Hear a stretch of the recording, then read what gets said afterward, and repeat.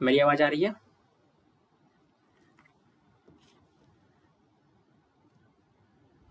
अन academy के UPSC CSC Hindi optional platform पे आप सभी का स्वागत है इंडिया का लार्जेस्ट लर्निंग प्लेटफॉर्म जहाँ पर आपको मिलते हैं daily live classes live test quiz एक स्ट्रक्चर कोर्स और एक अनलिमिटेड एक्सेस एक सब्सक्रिप्शन पे। जी हाँ यदि आप अन अकेडमी के सब्सक्रिप्शन को लेते हैं तो आपको ये सारी सुविधाएँ मिलती हैं। तो आज ही अन अकेडमी के इस लर्निंग ऐप को डाउनलोड कीजिए। जी हाँ इस ऐप के माध्यम से आप सारी स्पेशल क्लासेस जो मैंने लिया हुआ वो भी आप देख सकते हैं और बहुत सारे कोर्सेस अवेलेबल हैं। वो सारे वीडियो आप इस प्लेटफॉर्म के माध्यम से देख सकते हैं। ये मेरे बारे में है। आप जो लोग अभी तक टेलीग्राम चैनल ज्वाइन नहीं किए हैं, ये मेरा लिंक है। इस लिंक के माध्यम से आप टेलीग्राम चैनल से जुड़ सकते हैं, जहाँ से आपको उस विषय संबंधित सारे कंटेंट और आज जो मैं क्लास लेने वाला हूँ इस क्लास के बाद आपको पीडीएफ जो भी है वो मैं इस क्लास की जो भी पीडीएफ है है ना वो मैं आपको इस टेलीग्राम चैनल के माध्यम से आपको प्रोवाइड करवा दूँगा। तो अन अकेडमी आपके लाया है ढेर सारा कोर्सेज यूपीएससी सीएससी की तैयारी कंप्लीट करने के लिए। इसमें पंद्रह हज़ार सुपर कोर्सेज है बहुत सारे अपकमिंग है। ये सब्सक्रिप्शन पीच है अन अकेडमी का। आप कोई भी सब्सक्रिप्शन ले सकते हैं।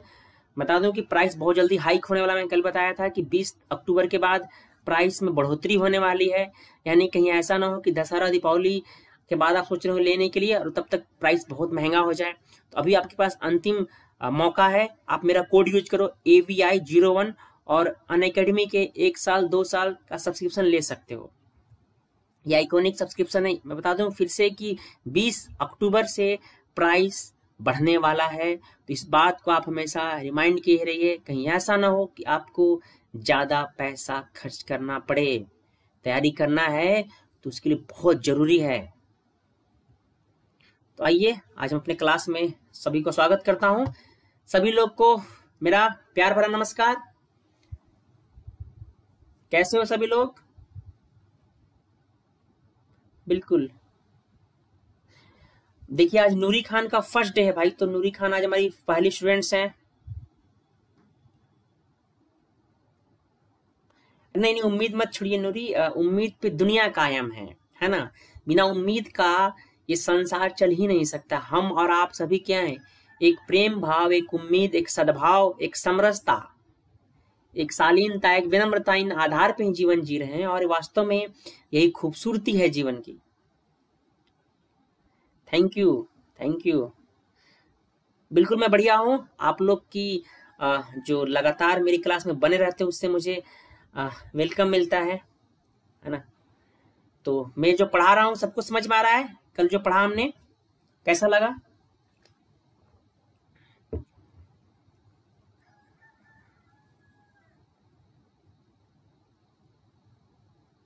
चलिए, किसी ने बताया तो बहुत अच्छी बात है। आप बिल्कुल क्लास कीजिए, जो प्रीवियस सारे जो वीडियो हैं, आप उनको, उसको भी देखिए। ठीक है, मैं क्लास पे आता हूँ। कल हमने जो पढ़ा था, एक बार देखना, मैं अभी रिपीट करवा दूँगा। ठीक है, सबसे पहले हम अपना जो हमारा दैनिक क्या होता है कि पाँच नए शब्द और दो मुहावरों पे हम बात करते हैं, हमारे क्लास की विशेषता है।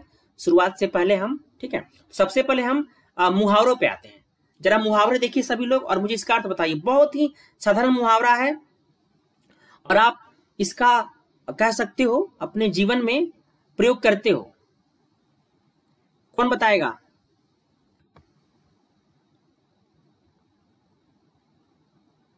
पहला क्या है?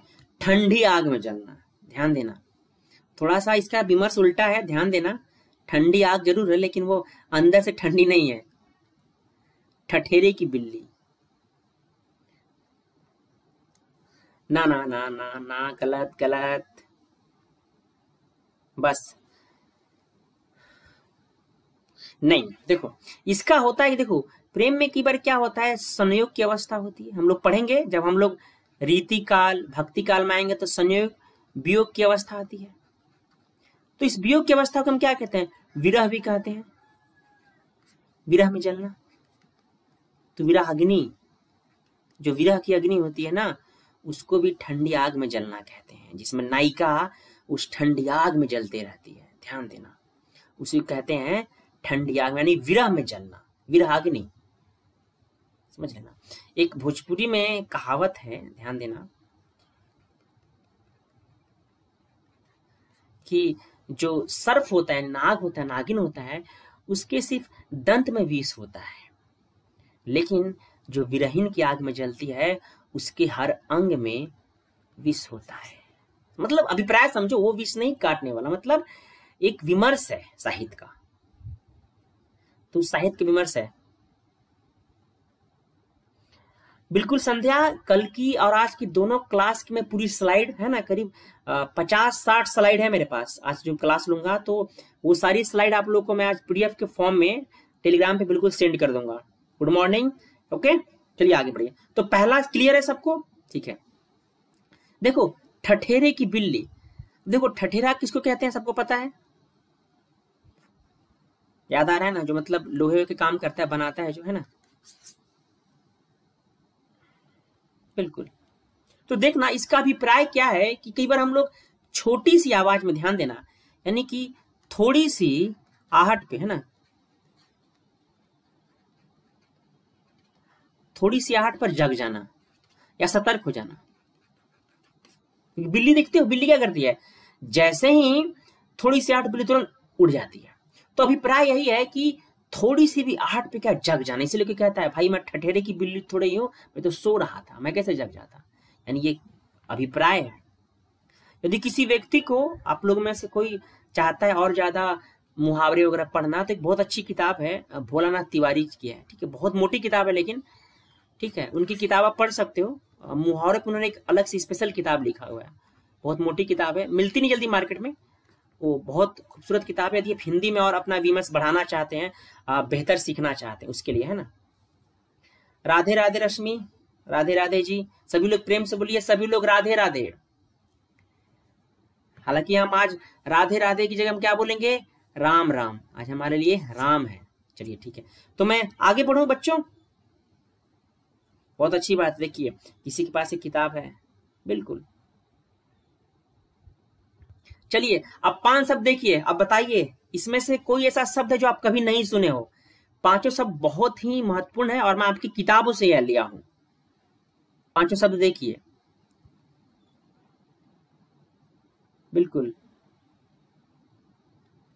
चलिए, सभी लोग को पुनः मेरा प्यार नमस्कार। और बताइए, पाँचों शब्द देखिए आप लोग। बताइए नए शब्द है, सारे शब्द आपके किताब से हैं, कोई नया मैं शब्द नहीं लाया हूँ। देखो, पहला शब्द मैं लेता हूँ, विधृत। ये सब देखिए पहला आप लोग। पूजा से ही। है इसका अर्थ होता है धारण या ग्रहण करना, ध्यान देना। या पृथक युक्त ये भी होता है इसका अर्थ।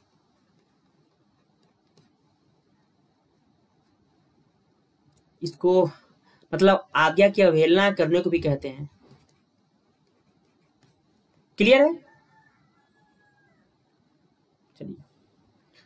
पहला शब्द क्लियर होगा विधृत अब देखो दूसरा शब्द क्या है? अमोघ। आप लोग यदि कभी सीरियल वगैरह देखे होंगे चाहे रामायण महाभारत या ऐसे कुछ आ, कह सकते हो जो विमर्श पे आधारित हो जो क्या हो युद्ध पे। खासकर जो आ, पौराणिक हो प्राकलीन हो, समझिए। तो आप देखते हो बोलते हैं ना, अमोघ बाघ मारना है, बाण। यानी कि अचूक। इसको हम और क्या बोल सकते हैं? अव्यर्थ। मतलब ऐसा प्रहार करो, ऐसा फेंक इसमें क्या? वह व्यर्थ ना जाए। यानी अचूक हो, जो निशाना है, वो अचूक हो। जैसे आपको क्या करना है? आपको अपने सारे अटेम्प्ट, ध्यान देना इसलिए मैं बोलता हूँ ना कि फ़र्स्ट अटेम्प्ट आपको क्या करना है? उसमें ही आपको एग्ज़ाम को क्लियर करना है। फ़र्स्ट अटेम्प्ट में यानी कि आपका अचूक होना चाहिए। ये तैयारी आपकी अचूक होनी चाहिए और अब पहले ही अटेम्प्ट में आपको क्या करना है? क्रैक करना है। बहुत एनर्जी होता है बच्चों। फ़र्स्ट अटेम्प्ट बेस्ट अटेम्प्ट होता है। बहुत एनर्जी होती है। आप सही दिशा में आगे बढ़ोगे तो बिल्कुल निकाल सकते हो। जो लोग निकाल रहे हैं, वास्तव में वो फ़र्स्ट अटेम्प्ट इसलिए निकाल रहे कि उनके अंदर ऊर्जा है। होता क्या है? फ़र्स्ट अटेम्प्ट में कि हमारे पास फालतू की बातें दिमाग में नहीं होता, फ्रेश होते हैं एकदम। जो बड़ी आसानी से सीखते हैं। जैसे जैसे आप फ़र्स्ट अटेम्प्ट सेकंड थर्ड बहुत सारी ऐसी बातें आएँगी जो आपके लिए यूजफुल नहीं एग्ज़ाम के लिए, ध्यान देना। इंफॉर्मेशन को खराब नहीं है, लेकिन एग्ज़ाम ओरिएंटेड चीज़ें नहीं होगी तो फिर आपको दिक्कत होगी। ओके? तो इस तरह आपको दिक्कत होती है। चलिए, तीसरा शब्द आइए। मंदार। या आप लोगों ने सुना होगा इस शब्द को। याद आ रहा है? देखो, स्वर्ग में पाँच तरह के वृक्ष बताए गए हैं उसमें, संस्कृति में। स्वर्ग के जो पाँच वृक्ष हैं, उसमें से एक वृक्ष ये है, जो पाया जाता है। मंदार, उसको भी कहते हैं। मंदार पर्वत भी आपको पता है। पर्वत भी है। और धतुरा को भी कहते हैं। याद आ रहा है? और आपको बता दू कि जो हिरण्य कश्यप था, उसके पुत्र का नाम भी मंदार था। याद रख लेना तो जो हिरण्य कश्यप था, उसके एक पुत्र का भी नाम था। ऐसा कहा जाता है। समझ आइएगा। तो ये सारे शब्द आपके सांस्कृतिक विमर्श के शब्द हैं। बिल्कुल, देखो, किसी ने बहुत अच्छी कविता भेजा है। चलिए, मातुल का अर्थ कौन बताएगा? बहुत ही सिंपल शब्द है और मैं आपको क्लू देता हूँ कि सबके मातुल होते हैं। एक, मैं क्लू देता हूँ और बहुत बड़ा, ये एक रिश्ता है। चलिए, इतना क्लू दे दिया आप लोगों को। चलो, किसी ने उत्तर दे दिया है, बहुत सटीक उत्तर दिया है किसी ने। बहुत बढ़िया बहुत बढ़िया बहुत बढ़िया, सूर्या। मामा, बिल्कुल। मामा को ही मातुल कहा जाता है। चलो, और किसी ने, दो लोगों ने बहुत अच्छा उत्तर दिया। दाम्भिक यानी किससे बना है? दम्भ से बना है। यानी कि क्या है? जो दम्भ करने वाला। क्योंकि इसमें कौन सा प्रत्यय लग रहा है? एक प्रत्यय लग रहा है। क्लियर हो गया? ओके चलिए। तो क्लियर है सबको? पाँचों शब्द? मज़ा आता है जो मैं ये शब्दों पे रोज बात करता हूँ आपसे, पाँच शब्द, दो मुहावरे। इसमें आपको लगता है कि इसके माध्यम से आपकी हिंदी बेहतर हो रही है, आपकी सब पे पकड़ बन रही है, और इन शब्दों के माध्यम से आप अपनी बेहतर अभिव्यक्ति कर पाते हैं। अपनी उन बातों को, अपनी उन मनोदशाओं को, अपनी उन संवेदनाओं को प्रकट कर पाते हैं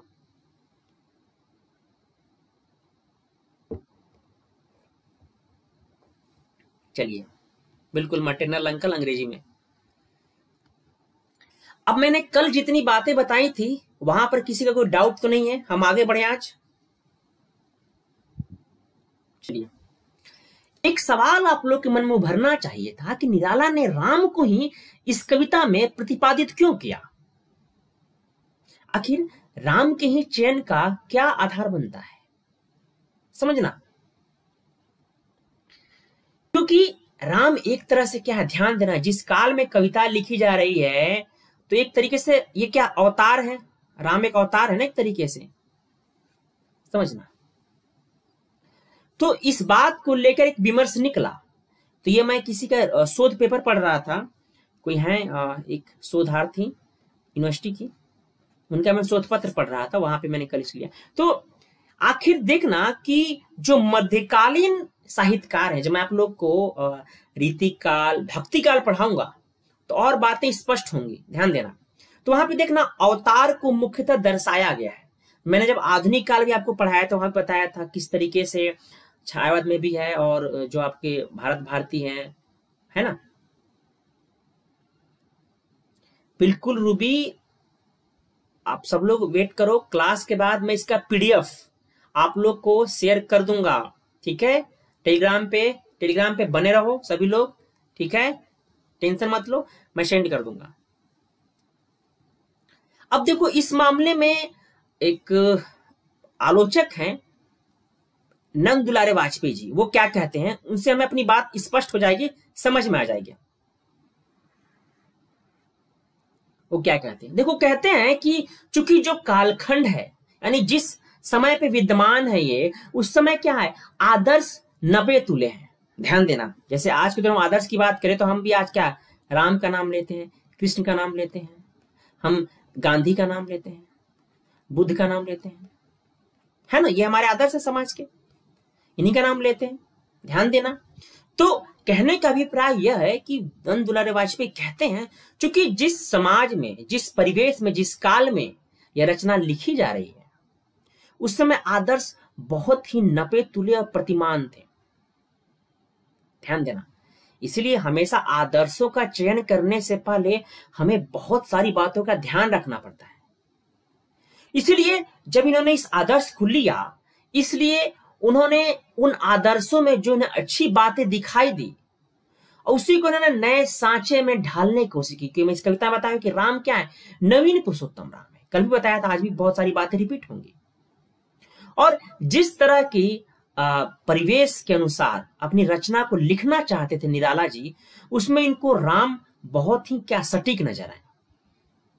हालाँकि कृष्ण भी थे, पर राम का स्वरूप ज़्यादा आदर्श है।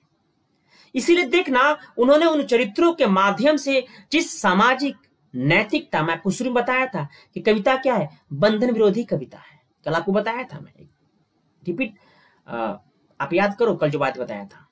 यानी कि जिस सामाजिक आदर्श और नैतिकता की स्थापना जिस सामंतवाद विरोध की बातें थी। वो सारी बातें कह सकते हो, राम के आधार पर इनके लिए कहना आसान था अपनी रचनाओं के माध्यम से। इसीलिए इन्होंने किसका सहारा लिया? राम का सहारा लिया। क्योंकि यदि उन प्राचीन आदर्शों के प्रतिमानों को छोड़ दिया जाए तो कोई नवीन आदर्श उनके सामने मौजूद नहीं था। क्योंकि गांधी उस युग में क्या आगे बढ़ रहे थे? ध्यान देना।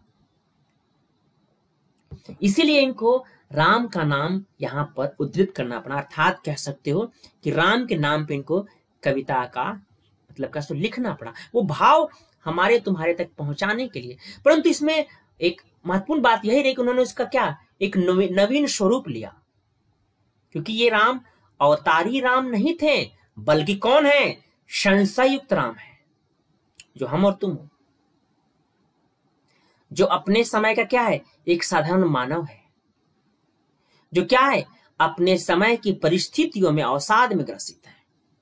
इसमें व्याख्या पूछता है यूपीएससी मैंने आप लोग को एक व्याख्या कराया भी है।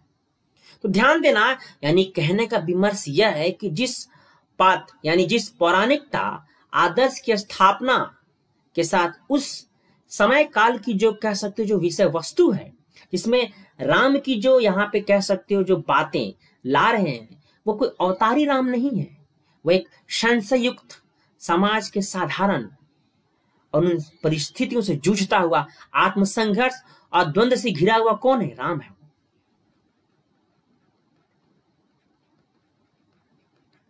ध्यान देना। तो क्लियर है मैं जो बातें बताएँ आपको? आगे बढ़ू मैं।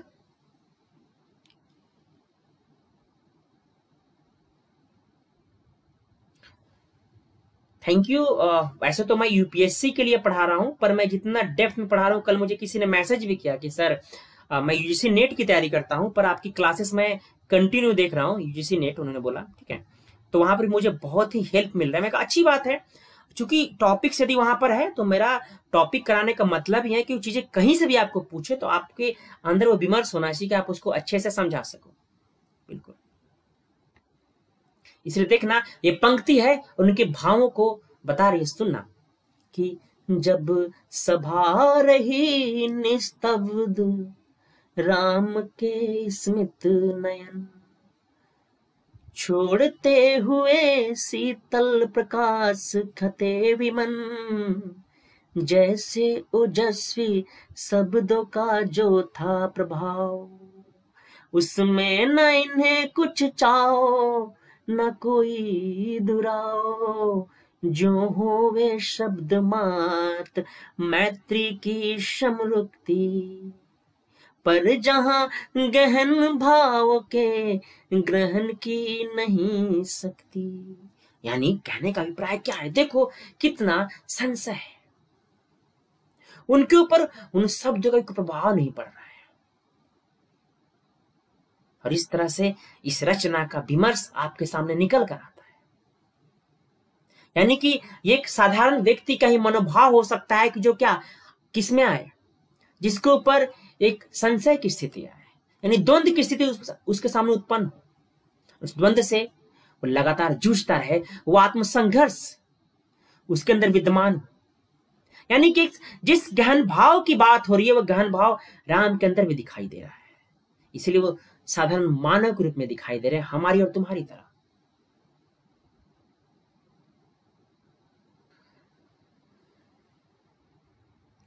अनामिका, सारे लेक्चर का प्लेलिस्ट बना हुआ है। आप इसी चैनल पे जाना जिसपे देख रहे हो। प्लेलिस्ट में जाना, वहाँ पे मेरे नाम से प्लेलिस्ट बना हुआ है। प्लीज़, सभी को बता दो, प्लेलिस्ट ऑलरेडी बना हुआ है। प्लेलिस्ट में सारे लेक्चर पड़े हुए हैं। आप देख सकते हो। और प्लीज़ कोई टेलीग्राम आईडी दे दीजिए यहाँ पे नूर को। नीचे देखो, इसी में पीडीएफ में पीपीटी में नीचे मैं टेलीग्राम आईडी हमेशा लिखता हूँ, आप देख सकते हो। चलिए। देखो, ये कविता का जो काल है 1936 है, याद आ रहा है आपको? यानी कि प्रथम विश्व युद्ध हो चुका है। फ़र्स्ट वर्ल्ड वार हो चुका है। उस समय देखना कि मनोस्थिति बन रही है पूरे विश्व की। यानी कि जिस युद्ध के बाद एक ऐसी मानसिक प्रक्रिया का जन्म हो रहा है। जिस तरह मैं आपको बताया था कि द्वितीय विश्व युद्ध के बाद, यानी कि 1945 के बाद, जिस तरह के पूरे विश्व में बदलाव आ रहे हैं, मानसिक, उसी क्या है? क्षणवाद, अस्तित्ववाद। ये तमाम जो दर्शन है, धाराएँ हैं, आ रही है और इसका प्रभाव हिंदी साहित्य में भी पड़ रहा है। ध्यान देना वो बातें जब आप लोग पढ़ाया हो तो वहाँ पे मैंने बताया हुआ है। इसीलिए देखना कि इस कविता में भी जिस प्रथम विश्व युद्ध के बाद की चुकी रचना है तो उसका प्रभाव कहीं ना कहीं क्या है? इनकी चेतना पे पड़ा हुआ है। और वो चाहते हैं कि इस युद्ध से जो उत्पन्न मानसिक प्रक्रिया है, वो लोग भी समझें। और कहीं ना कहीं इस कविता के माध्यम से आपको बताया था कि जिस स्वाधीनता संग्राम चल रहा है, उनमें लोगों को जगाना भी इनका उद्देश्य था। यानी कि जिस राम के चरित्र के माध्यम से वह उस मानवीय चरित्र को भी उजागर करना चाहते थे और उसके रूप में जो पग पग पर जो दिक्कतें आती थी, जो मुसीबतें, जो संशय, जो संघर्ष, जो द्वंद, उन सभी को वह उठाना चाहते थे और उसे ही परिभाषित करने के लिए यह नवीनता का सहारा लेते हैं। और उस नवीनता के माध्यम से हमारे सामने वो बातें प्रस्तुत करते हैं। और तब कह सकते हो कि और ज़्यादा विमर्श हमारा गहरा होता है, उसी से झुकाव हो जाता है, एक लगाव हो जाता अर्थात कह सकते हो कि प्रमाणिकता आ जाती है। जैसे कि मान लो समझना सिंपल से उदाहरण से, आप किसी मुसीबत में हो समझना आपको लगता है कि ये मुसीबत से मैं निकल नहीं पाऊँगा, समझ आना आप संशय में होते हो, मुसीबत में होते हो, आपको लगता है कि शायद मैं नहीं निकल पाऊँगा तो ऐसी स्थिति में जब आपके सामने एक ऐसा उदाहरण रखा जाता है, और वो उस उदाहरण में दिखाया जाता है किस तरह वह व्यक्ति भी उस दुविधाओं से, उस संशय से खुद को पार पाया था, तब आपके सामने प्रमाणिकता आ जाती है और आपके अंदर साहस का प्रादुर्भाव होता है। और यही प्रादुर्भाव कहीं ना कहीं उस समय राष्ट्रीय चेतना में भी ज़ाहिर करने की कोशिश थी सूर्यकांत त्रिपाठी निराला जी की। क्योंकि मैं पहले बता दी, इस रचना का उद्देश्य सिर्फ़ युद्ध का वर्णन करना नहीं था। अपितु युद्ध के उपरांत, या युद्ध के अंदर जो द्वंद है राम का, यानी यह राम और रावण के मध्य का युद्ध नहीं है, ये राम और राम के अंदर ही मौजूद उस अंतर्द्वंद आत्मसंघर्ष की पीड़ा, उसकी कविता है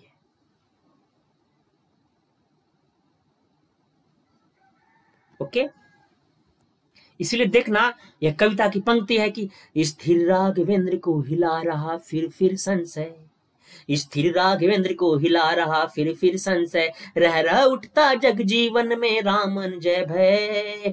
कल लड़ने को हो रहा विकल वह बार बार असमर्थ मानता मन उद्धत हो हार हार भावित नयनों से सजल गिरे जो मुक्ता दल। बोले रघुमनि मित्र, वर विजय होगी न समर अन्याय जिधर है, उधर शक्ति। कहते, झल झल हो गए नयन। कुछ बूंद पुनः ढल के दृग्जल। रुक गया कंठ। यानी ये भाव किसके हो सकते हैं? एक साधारण मनुष्य के भाव हो सकते हैं, जो रणभूमि में हो। ये साधारण मानव के अंदर उत्पन्न होने वाला ही भाव है। और ये संशय यहाँ देखना राम के अंदर भी उठ रहा है। राघवेंद्र, समझना हिला रहा संशय ये वाला सा होगा, ठीक है? संशय यानी कि उनके मन में उठ रहा है कि आखिर जिस मैं युद्ध लड़ रहा हूँ, कहीं ऐसा ना हो कि राम, मैं जो हूँ, मैं रावण से हार ना जाऊँ। कहते हैं, कल तक जिस युद्ध की तैयारी करने के लिए हम विकल थे, व्याकुल थे, आज पहले दिन में हमारी हार हो चुकी है। और मन मानो ऐसा कहता है बार बार कि नहीं, शायद युद्ध में नहीं जीत सकता, अर्थात ये लौकिक राम है।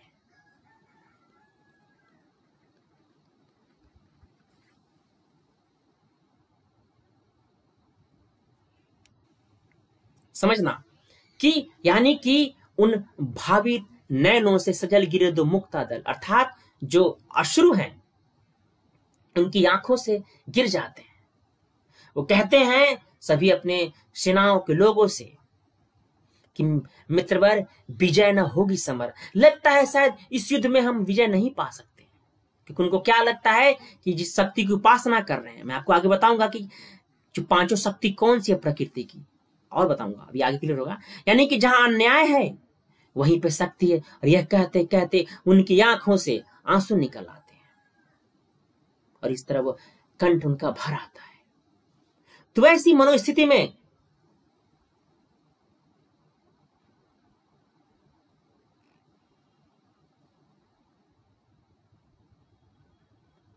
क्लियर है?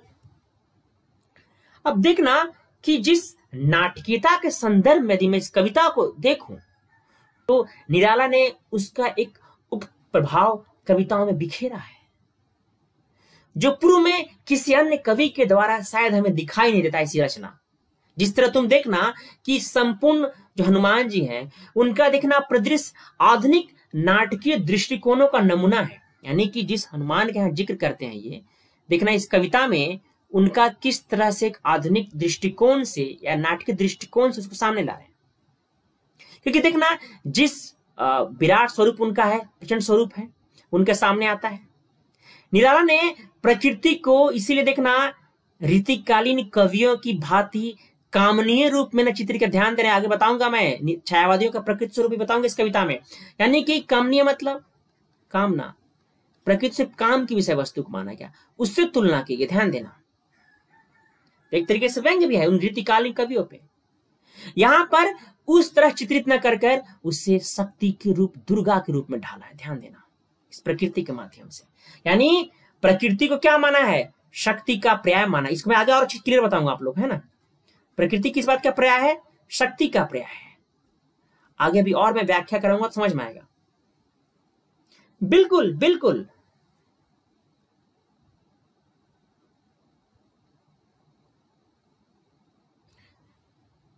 किसी ने कहा है, सर, आप कविता के भाव से न बोलकर सीधे फुलों में पढ़े तो ज़्यादा इफ़ेक्टिव होगा। ओके, ठीक है, जैसी आपकी मर्ज़ी। यानी कि देखना, इस नवीन प्रयोग में क्या है? निराला, जिस भूधर यानी कि ज़मीन की बात हो रही है, पृथ्वी की, वह पुरुष का प्रतीक न होकर किसका है? पार्वती के रूप में चित्रित किया गया है देखना, एक नवीन दृष्टिकोण, समझ जाना। क्योंकि यहाँ जो पर्वत है, देखना, उसका मानवीयकरण हो रहा है। मैं आपको बताया था, प्रकृति का मानवीयकरण। समझना तो इस कविता में तो यहाँ तक क्लियर हुआ मेरे बच्चों सारी बातें जो आप लोग को बताया? बहुत याद रखना, ये अति महत्वपूर्ण कविता है। मैंने आपको प्रीवियस ईयर का पेपर इसीलिए दिखाया था कि प्रीवियस ईयर के पेपर में क्वेश्चन पेपर में हमेशा व्याख्या पूछा जाता है या राम की शक्ति पूजा से प्रश्न बनते हैं। ध्यान दीजिएगा। तो इसको गंभीरता से लो क्लास को। यदि गंभीरता से नहीं लोगे तो एक याद रख लेना आगे पाठ, पीछे सपाट, वाली ज़िंदगी हो जाएगी। ध्यान देना।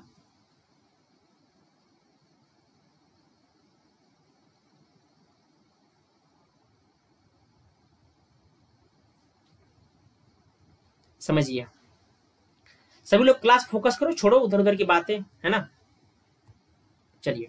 इसीलिए देखना कविता का भाव है कि सामने स्थिर जो है भूधर। सामने स्थिर जो है भूधर शोभित सरसत हरित गुलम त्रिन से श्यामल सुंदर। पार्वती कल्पना है इसकी, मकरंद बिंदु। गरजता चरण प्रांत पर सिंह व नहीं सिंधु, दस्तिक समस्त है हस्त। भी मैं व्याख्या कराऊँगा तो इसकी पूरी पंक्ति आपको समझ में आ जाएगी कि किस तरह प्रकृति का जो तत्व है, पाँच तत्व है, मैं बताऊँगा अभी, है ना? उन पाँचों तत्व की व्याख्या करूँगा इस कविता के आधार पे, कि जो पाँचों तत्व हैं, किस रूप में इस कविता में विद्यमान है, और उन तत्व में जो शक्ति है, कौन सा है जो राम के पक्ष में है, और कौन सी शक्ति क्या है वह रावण के पक्ष में है। ये बातें मैं आपको अभी बताऊँगा तो और ज़्यादा क्लियर हो जाएगा। तो अभी ओवरऑल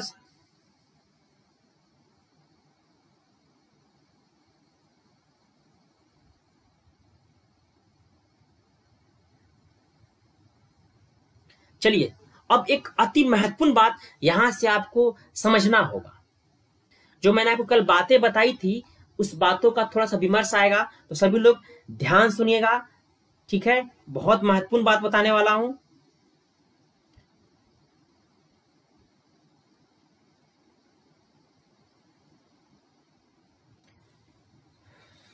देखो, जो डिस्टर्ब कर रहा है, छोड़ दो, उसकी तरफ़ फोकस मत करो आप लोग, है ना?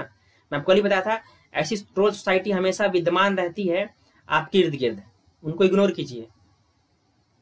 क्योंकि जब आप लक्ष्य की तरफ़ बढ़ते हैं तो आपके सामने इस तरह की दुविधाएँ आती हैं। ध्यान दीजिएगा। समझे? मैंने आपको बताया था कि कल दो तरह का विरोध था। याद आ रहा है? एक तरफ़ क्या था? प्राधीनता था। ध्यान देना। और क्या था? औपनिवेशिक चीज़ें थी। याद आ रहा है? यानी कि नवजागरण पर चेतना था। लाना था इनको।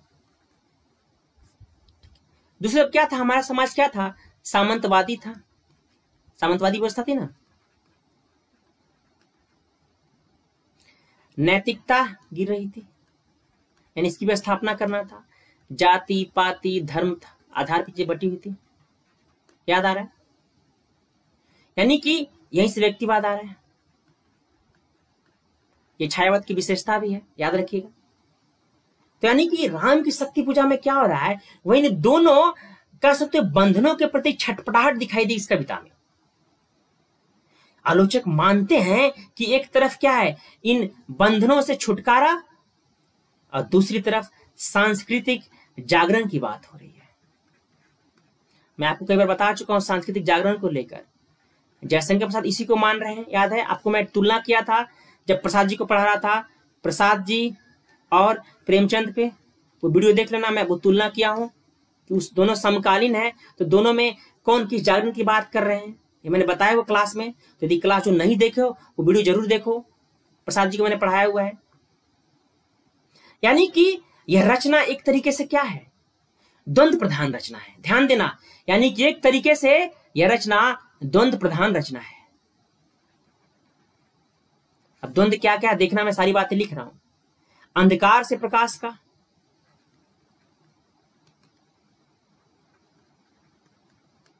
ध्यान देना, अंधकार से प्रकाश का। निराशा से आशा का। द्वंद है।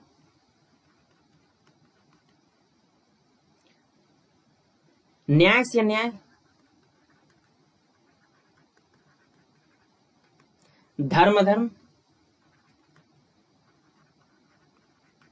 नैतिक, अनैतिक?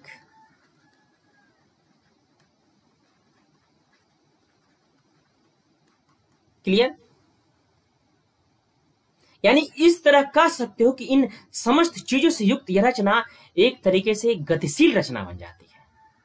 यानी कि जिस बंधन के विरोध में रचना खड़ी होती है और सांस्कृतिक जागरण को आगे बढ़ाती है और जागरण में जो द्वंद उभरता है, उसी के माध्यम से रचना एक गतिशील बन जाती है। तो क्लियर हुआ सबको? अब अति महत्वपूर्ण बात बताने वाला हूँ आप लोगों को, समझना कि प्रकृति को छायावादी या जो निराला है, उसको शक्ति का पर्याय मानते हैं। वो मानते हैं कि जो प्रकृति है क्या, वो अद्भुत है। उसके माध्यम से जिस शक्ति की बात करूँ शक्ति की मैं यहाँ बात करूँ आप लोग सामने तो ध्यान सुनना अति महत्वपूर्ण है, ये व्याख्या में सारी बातें सम्मिलित होंगी। तो इसको ध्यान समझना। देखो, पाँच शक्तियाँ विद्यमान हैं। जल आकाश, पवन, अग्नि, पृथ्वी। समझना मेरे बच्चों, ध्यान से इस बात को पूरी गंभीरता समझना। ये पूरी रचना को सार बनाएगा और एक तरीके से आपको समझने का विमर्श पैदा करेगा। ये कहते हैं कि जिस प्रकृति की शक्ति को पर्याय मान रहे हो, कहते हैं कि यदि प्रकृति की पाँचों शक्तियाँ संतुलित हो जाए तो क्या है? संतुलन और जीवन की संरचना संभव है। ज़ाहिर सी बात है जो पाँचों शक्तियाँ आपके सामने मौजूद है जल, आकाश, पवन, अग्नि। यदि यही संतुलित ना हो तो क्या होता है? बाढ़ आ जाएगा। अब जो आकाश मतलब तूफ़ान आता है ना इससे, तूफ़ान हो गया, झंझावात आ गया, पवन से क्या हुआ? पवन का वेग बढ़ जाएगा तो तूफ़ान हो गया। अलग अलग तरह की जो आपकी हवाएँ चलती जिस वजह से क्या होता है? अलग अलग नाम है उसके, चक्रवात, तमाम चीज़ें जो है। अग्नि, यानी दावा नील, याद आ रहा है आपको?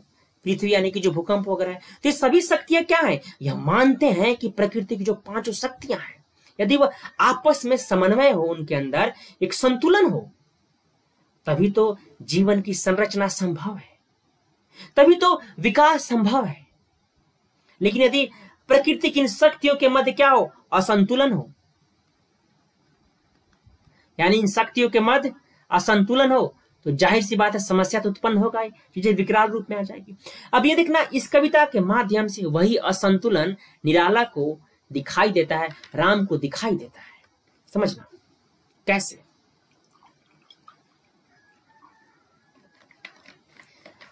ये कहते हैं कि यह संतुलन कुछ और नहीं, इस असंतुलन का अर्थ है, यह जीवन के लिए क्या है? घाती है।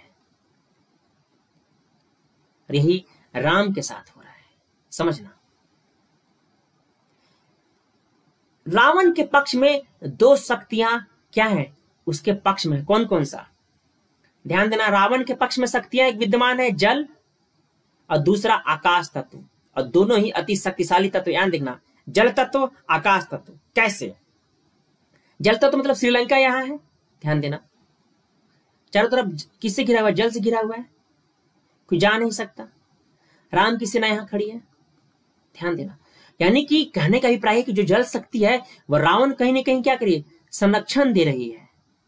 इसीलिए तो राम कह रहे हैं कि शक्ति और ध्यान देना। उनके मन में एक हार का भाव उत्पन्न हो रहा है। दूसरी तरफ़ देखना, जो आकाश तत्व है, आपको सबको पता है कि जो आकाश में कौन शिव और पार्वती, यानी कैलाश जो है, उनका निवास स्थान है। तो कविता में कहा जा रहा है कि एक तरीके से दोनों की दोनों जो शक्तियाँ हैं वह रावण के साथ है। वो कहते हैं कि जिस तरह समुद्र रूपी जो जल राशि है, वह श्रीलंका को चारों तरफ़ से घेरी हुई है। सॉरी लंका, श्रीलंका ने बोला। जो एक तरीके से उसे संरक्षण दिया हुआ, अर्थात जल तत्व किसके फेवर में है? रावण के फेवर में है। दूसरी तरफ़, जिस आकाश, यानी गगन तत्व की बात हो रही है, वह शिव का निवास स्थान है। यानी कि, और जहाँ शिव, वहाँ शक्ति होंगे। यानी इस तरह ये दोनों रावण के पक्ष में तभी तो शक्ति का संधान करना पड़ रहा है राम को। इस कविता में तभी तो उनकी शक्ति की पूजा करनी पड़ रही है। तो ये दोनों शक्तियाँ इनको दिखाई देता है। वो रावण के पक्ष में कहते हैं, अन्याय इधर, देवी शक्ति उधर। अब देखो, तीन बाकी जो तीन शक्तियाँ हैं, वो राम के पक्ष में वो कैसे हैं, मैं बताता हूँ आप लोगों को। ध्यान देना।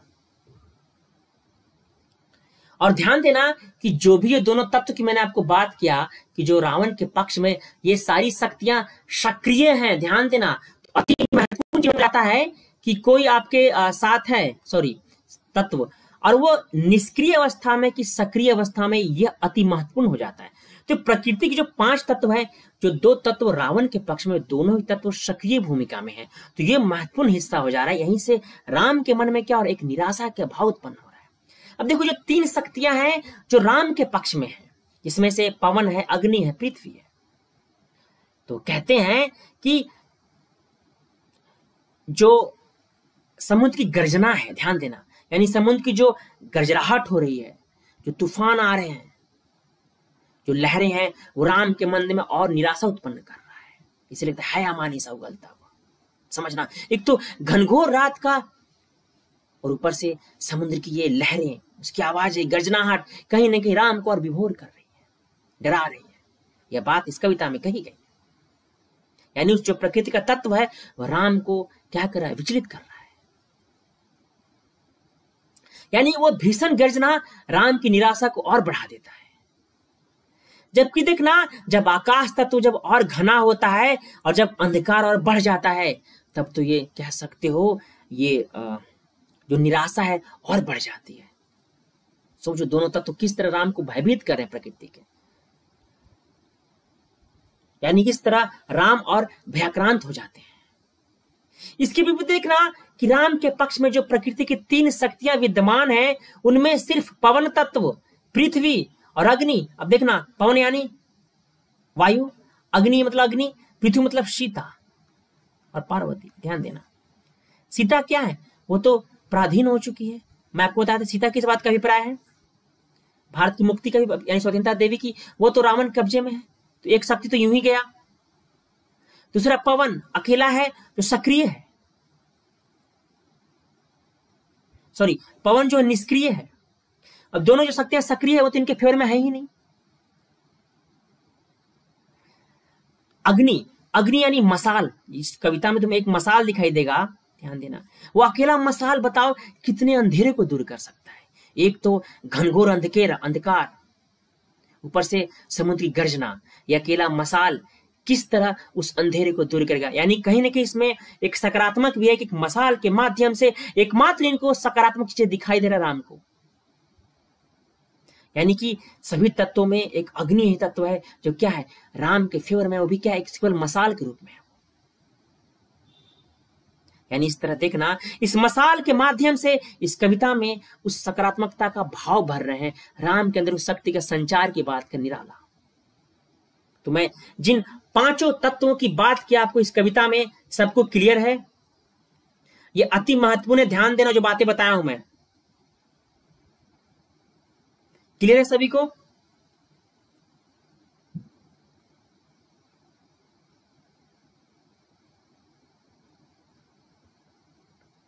ओके?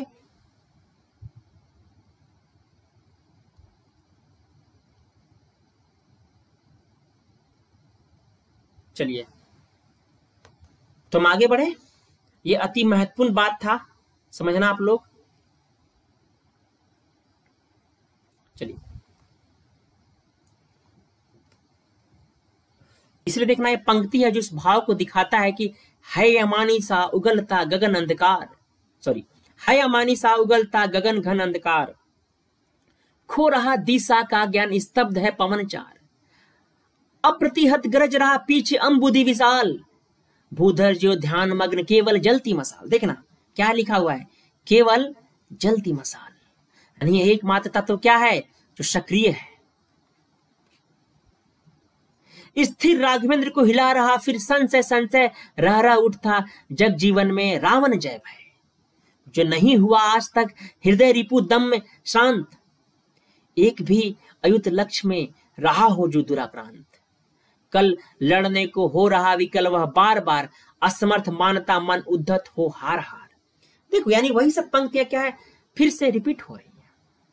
यानी कि जो मैंने भाव बताया था, जिस शक्ति के माध्यम से, जिस प्रकृति की शक्ति के माध्यम से जो एक भाव उत्पन्न हो रहा है, राम के मन में, वह भाव, यह कविता का भाव है। सारी मैंने आपको बातें बताई कि जो एक पवन है, जो सक्रिय नहीं है, जो एक घनघोर अंधकार हो रहा है, जो समुद्री गर्जना है, वह कैसे तो संतुलन में नहीं है प्रकृति। इस वजह से ही क्या है, ऐसी असमर्थता उनके मन में इस तरह के भाव उत्पन्न हो रहे हैं राम के मन में। एक बार बार संशय उत्पन्न हो रहा है उनके मन में। इसलिए देखना निराला जी मानते हैं कि जो प्रकृति क्या है, ध्यान देना, अति महत्वपूर्ण बात यह भी है। समझना?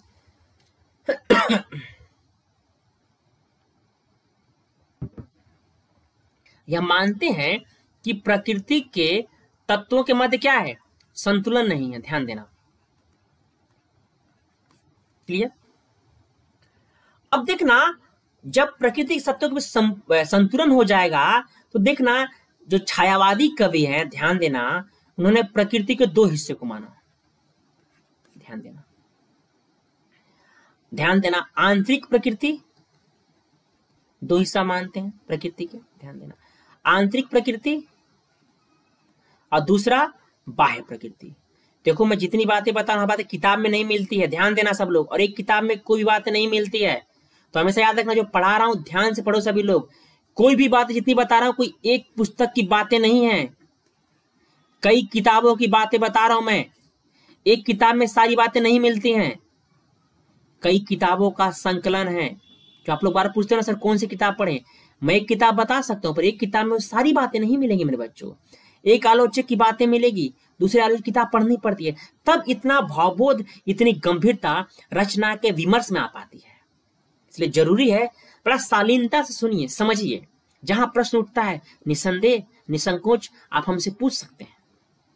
चलिए आगे बढ़ते हैं। यानी कि छायावादी क्या मानते हैं? प्रकृति के दो हिस्से को मानते हैं। कौन सा है? एक आंतरिक प्रकृति, एक बाह्य प्रकृति। यानी कि जो आंतरिक प्रकृति है, वो क्या है? हमारा स्वभाव या मन है, ध्यान देना। बहुत महत्वपूर्ण बात है ये। यानी आंतरिक प्रकृति क्या है? हमारा जो स्वभाव है, वो मन है। और बाह्य प्रकृति क्या है? जो हमारा वातावरण है आसपास का। ध्यान देना बच्चों, तुम्हारे तैयारी को लेकर भी है ये बात। यानी कि कह सकते हो, जिस तरह हमारा स्वभाव, जो मन, जो हमारी आंतरिक प्रकृति है, वह जुड़ नहीं पाएगी किससे? उस वातावरण जहाँ हम रहते हैं। जैसे अभी क्लास कर रहे हो, कुछ लोग क्या है? आपको डिस्टर्ब कर रहे हैं। वो क्लास में सिर्फ़ मनोरंजन करने आ रहे हैं। वो मनोरंजन ढूंढ रहे हैं। उन्हें वो मनोरंजन मिल नहीं रहा है। तो भाव विहल हो रहे हैं। यानी का स्वभाव मन क्या है? उस पर उनका जो आंतरिक प्रकृति है, उस पर उनका कोई कह तो कंट्रोल ही नहीं है। रही वजह है कि अंततः क्या होते हैं? थक हार जाते हैं। निराशा में बैठ जाती है। यानी कि समय का अनुपालन नहीं कर रहे यानी कि आपको आपके स्वभाव और मन, और जो बाह्य दोनों के बाद क्या समन्वय बनाना होगा। यही आपके मन में ऊर्जा का संचार करता है। और देखना, यही राम के साथ हो रहा है कि उनका जो आंतरिक प्रकृति और स्वभाव, जो मन है, वो विचलित हो रहा है। जिस तरह जो बाह्य वातावरण है, जिसमें मैंने बात किया था कि जो अमानी सैनी घनघोर अंधेरा आकाश तक तो किनके साथ नहीं है। उतर एक तरफ़ जो जल राशि है, वो घनघोर गर्जना कर रही है। समुद्र की गर्जना उनको निराशा कर रही है। यानी कि एक तरह की जो आंतरिक प्रकृति है और जो बाह्य प्रकृति है, उनके मध्य क्या है? संतुलन है और यही संतुलन हमें और तुम्हें बनाना होगा। ध्यान देना। यानी कि जब तक इन दोनों के मध्य हम संतुलन को स्थापित नहीं करेंगे, तब तक तो हमें विजय निश्चित होगा ही नहीं। और यही होता है कि हम अपने जीवन में इन्हीं विडंबनाओं और व्यवस्थाओं का शिकार हो जाते हैं। और यही वजह है कि राम पे भी इन्हीं बात, राम हावी हो जा रहे हैं और राम के अंदर पराजय बोध का जन्म हो रहा है। ध्यान देना। यानी जिस तरह अपने मन पे हम कंट्रोल नहीं कर पाते हैं और मन के अंदर ऐसे भाव उत्पन्न होते हैं तो यही आप कह सकते हो जिस पराजय बोध का भाव उत्पन्न हो रहा है राम के अंदर। जो बोला था ना कि रा, स्थिर राघवेंद्र को हिला रहा फिर सन सैसन। और इस तरह देखना वो क्या करते हैं हार को स्वीकार कर लेते हैं। शुरू। ये तुम्हारे साथ भी यह स्थिति निर्मित होती है तो समझो, यह कविता तुम्हारे भी वस्तु स्थिति को दर्शा रही है।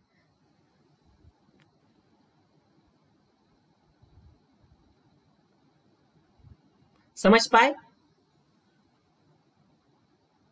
जितनी बातें बताया जिस प्रकृति के तत्व से मैंने जोड़ा, जिस प्रकृति के भाव से जोड़ा पूरी कविता को, क्लियर है? जिस छायावादी, जिस प्रकृति के भाव को मान रहे हैं आंतरिक बाय ठीक है? किसी का कोई सवाल?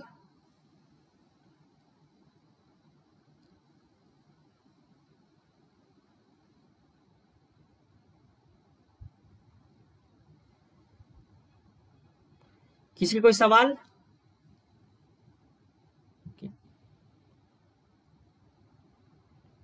चलिए तो हम आगे बढ़े। ओके, आज का कल की बात जो है क्लास की, वो भी एक तरह से रिपीट हो रही है, कहीं ना कहीं सारी बातें।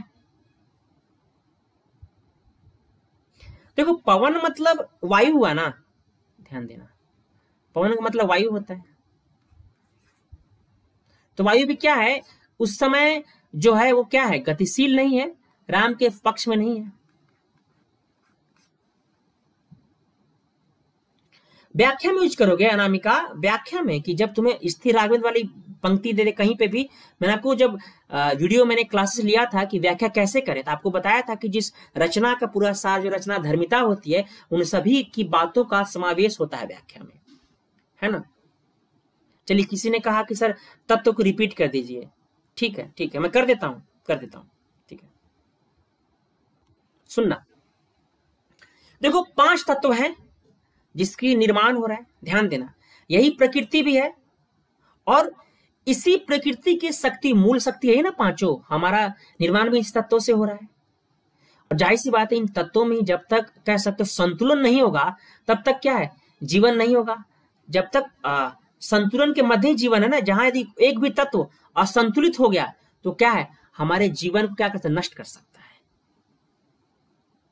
बिल्कुल जासमीन राम इसलिए भयभीत हो रहे थे क्योंकि वह यहाँ पे क्या है, उन्हें एक साधारण मानव के रूप में, नवीन मानव के रूप में दर्शा निराला जो समय भारतीय जनमानस की स्थिति हो गई थी, उसको दर्शाने के तो राम का इन्होंने सहारा लिया है। इसलिए तो ये क्या बोल रहा हूँ कि ये कोई वाल्मीकि या तुलसी का राम नहीं है।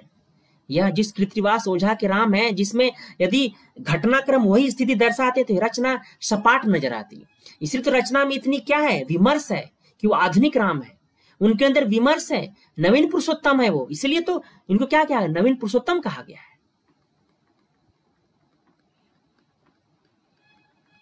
क्लियर सबको? ठीक है। जैसमिन क्लियर हो गया? चलो ओके यानी कि जिन पाँचों शक्तियाँ हैं जिसमें जल तत्व अर्थात जो समुद्र की पूरी जो आ, कह सकते हो आसपास जो है लंका के वो क्या है? किसके फेर में है?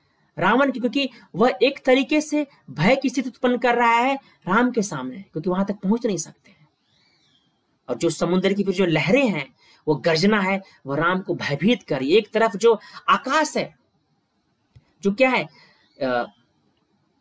शिव और शक्ति का निवास स्थान है, वह भी क्या है, रावण के पक्ष में है।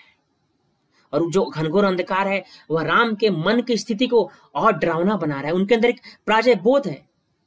जो मैं आपको बताया था कि जिस छायावादियों ने प्रकृति के दो हिस्से माने आंतरिक और बाह्य तो राम क्या है? आंतरिक स्तर पे यह मान चुके हैं कि प्रकृति के तत्व क्या उनके साथ नहीं है वो हार रहे हैं।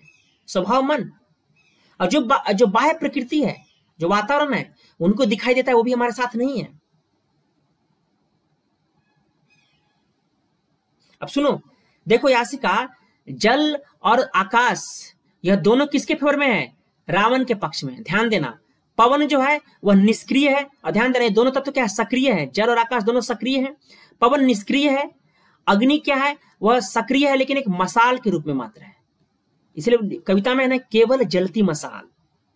पृथ्वी अर्थात सीता जो खुद क्या है? रावण के कब्जे में है। समझना। तो इस तरह से क्या है? कविता के जो पाँचों शक्तियाँ, जो तत्व हैं, यह है। मोनिसा आपको क्लास मिल जाएगी। प्लीज़ आप मेरा डिस्क्रिप्शन में लिंक है। मेरे प्रोफ़ाइल का अकेडमी का। आप वहाँ से प्रोफ़ाइल पे क्लिक करके आप पहुँच सकते हो क्लास है ना? या फिर आप टेलीग्राम ज्वाइन करो। वहाँ पे सारे क्लासेस के लिंक पड़े हुए टेलीग्राम पे, है ना? तो आप टेलीग्राम से भी ले सकते हो। चलिए आगे बढ़ते हैं। तो क्लियर है?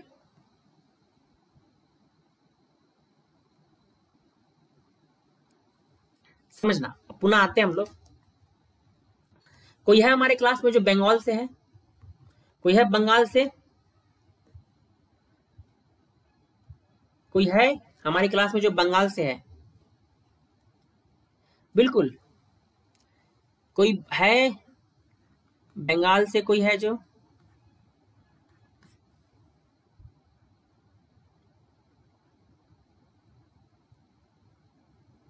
चलिए, कौन है? आप हो, श्रुति? अच्छी बात है। तो मुझे बताइए कि बंगाल, ध्यान देना, सभी लोग, सभी के लिए सवाल है, और उत्तर भारत।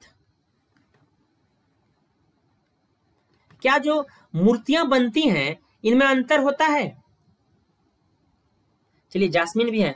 तो मुझे बताइए, जिस दुर्गा स्वरूप की बात कर रहा हूँ तो बंगाल में और उत्तर भारत में जो मूर्ति बनता है, माँ दुर्गा, उसमें कुछ अंतर है? क्या अंतर होता है?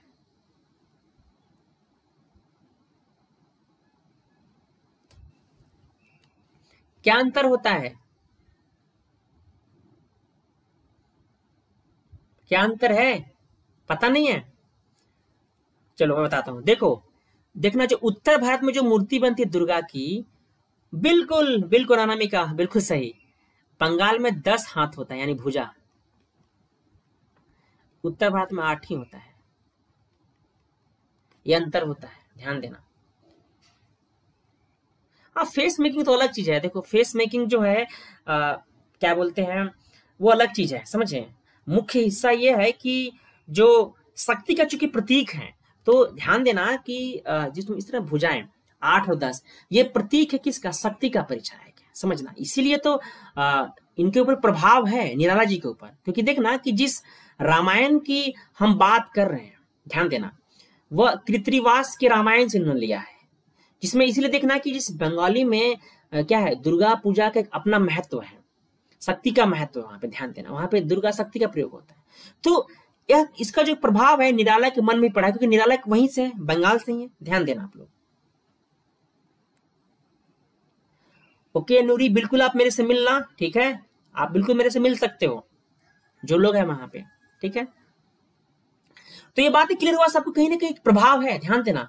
क्योंकि सूर्यकांत त्रिपाठी निराला वहीं से है तो इसीलिए जो बंगाल में है, इस बार यदि मूर्ति रखी जाएगी तो सभी लोग ध्यान से देखना। मैं हमेशा क्या कहता हूँ कि साहित्य जो है, समझना मेरे बच्चों, वो कोई विषय नहीं है। जिस दिन तुम साहित्य को विषय मान लोगे ना, पढ़ नहीं पाओगे।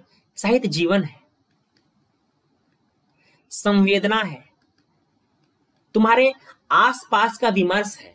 तो यह विषय तुम्हें बहुत ही आसान लगेगा। कभी भी इस विषय में तुम्हें ऐसा नहीं महसूस तुम्हें कुछ नया पढ़ना है, कुछ पढ़ना है। तो महसूस ही नहीं होगा। तुम बहुत ही साधारण जीवन से अपने आप को जोड़कर इस कविता को कहानी को पाने से बहुत समझ सकते हो पढ़ सकते हो। ठीक है? अवनीश अंतर देखो बात यह है कि देखो मेरी बात सुनना। एक विमर्श है समझना एक विमर्श होता है। जैसे तुम आ, हम लोग कार्तिक जी की पूजा करते याद आ रहा है आपको? कार्तिक? हम उत्तर भारत में इनकी पूजा नहीं होती उतनी ज़्यादा, ध्यान देना। एकदम दक्षिण भारत जाओगे, इनको मुर्गन बोलते हैं, मुर्गन। याद आ रहा है? मुर्गन। देवेंद्र जी, आज आपकी पहली क्लास कौन सी क्लास है? आज ही कंप्लीट कर लेंगे क्या ऑप्शनल अरे पढ़िए। पढ़िए पहले यहाँ पर। आइए, कुछ क्लास किए हैं, तब ना बताएँगे। देखिए जासमीन की पिताजी मूर्ति बनाते बिल्कुल मेरे में मूर्ति बनवाना जासमीन, है ना? है ना? तो जो मैं बताया तो उसको मुर्गन कहते हैं। तो एक विमर्श अपना अपना क्षेत्रीय विमर्श होता है, जो शक्ति का स्वरूप है तो भी बंगला में ध्यान देना, है ना? ये हालाँकि दुर्गा कितने नौ स्वरूप होते हैं, नौ शक्ति से कहा जाता है। चलिए। तो ये बातें क्लियर है सबको? मैं आगे बढ़ू? चलिए। अब देखिए, जो महत्वपूर्ण बातें बता रहा हूँ, एक तरीके से पूरी कविता का कथानक अवसान प्रस्तुत हो रहा है। देखना कि जैसे जैसे संघर्ष के मध्य उत्साह ज़रूरी है, ध्यान देना। जब आपके जीवन में संघर्ष आता है तो उत्साह बहुत ज़रूरी है, ध्यान देना। जैसे तुम लोग, जब तैयारी में हो, तुम्हारे सामने कई बार होगा कि तुम्हारा मनोबल नीचे जाएगा। क्योंकि यहाँ तक ना जब तुम कार्य करोगे ना, क्योंकि कार्य का स्वरूप ही क्या है? आपके अंदर संघर्ष, तनाव की स्थिति को लाएगा। ये कार्य करने की दिशा है। कार्य करो तभी स्थिति आएगी। कार्य नहीं करोगे तो कुछ तनाव, संघर्ष आएगा ही नहीं। तो राम के साथ में चलिए, अच्छी बात है कि बनारस से है। चलिए, मैं बनारस से मेरा जुड़ाव है। अच्छी बात है, बनारस से मेरा भी जुड़ाव है। चलिए, आगे बढ़ते हैं। यानी कि जिस संघर्ष के मध्य उत्साह बढ़ाने के लिए एक मधुर स्वप्न पर्याप्त होता है इसे देखना जब राम के मन में भी निराशा आती है, ऐसा भाव आता है, उनका मनोबल नीचे गिरता है तो उनको याद आता है सीता से मिलन। ध्यान देना। देखो, प्रेम का कितना बढ़िया सुंदर दृश्य यहाँ पर कल्पित कर रहे हैं निराला जी, कि जिस तरह एक निराशा का भाव आता है, उनका मनोबल गिरता है राम का। देखो, कितना साधारण मनुष्य की भांति राम का चित्रण किया जा रहा है, मेरे बच्चों। तो वह याद करते हैं सीता के साथ प्रथम मिलन का दृश्य। जब वो मिथिला जाते हैं, और आपको सबको पता है कि उपवन में उनकी पहली मुलाकात होती है, जब हम वो धनुष को तोड़ते हैं उससे पहले, पहली मुलाकात यही होती है। तो उस जब दृश्यों को याद करते यानी कि नैनो से नैनो का संभाषण, समझना, वो दृश्य को याद करते हैं। यदि किसी ने ऐसा गुप्त संवाद किया है तो बड़ी अच्छी बात है, वो समझता होगा। यदि किसी ने इस तरह का गुप्त संवाद किया है तो समझ सकता है कि राम के अंदर किस तरह के मनोभाव आ रहे हो, कितना मज़ा आ रहा यानी कि नैनो से नैनो का जो प्रिय संभाषण है, वो अकल्पनीय है। वह वो दोनों जो है, वही समझ सकते हैं। समझिए।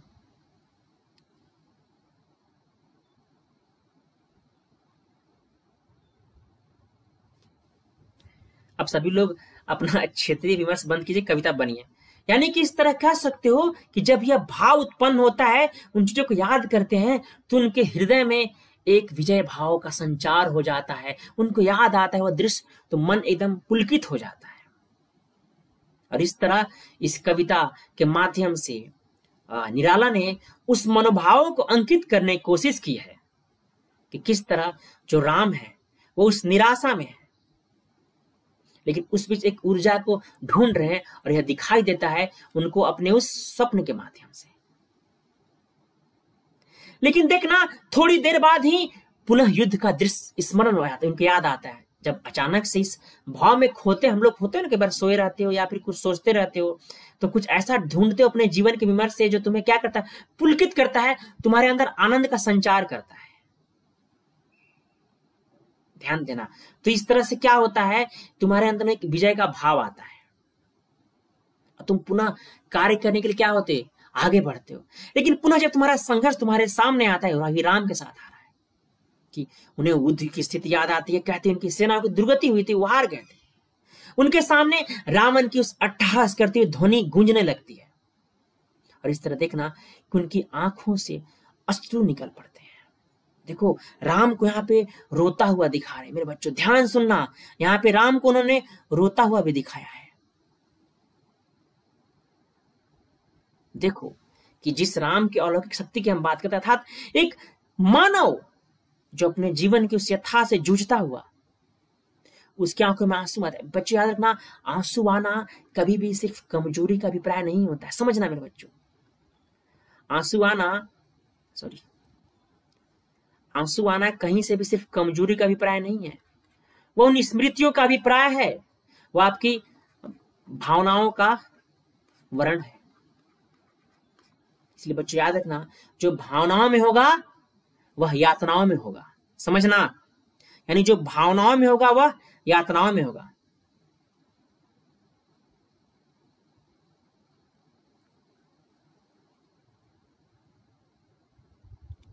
क्लियर है?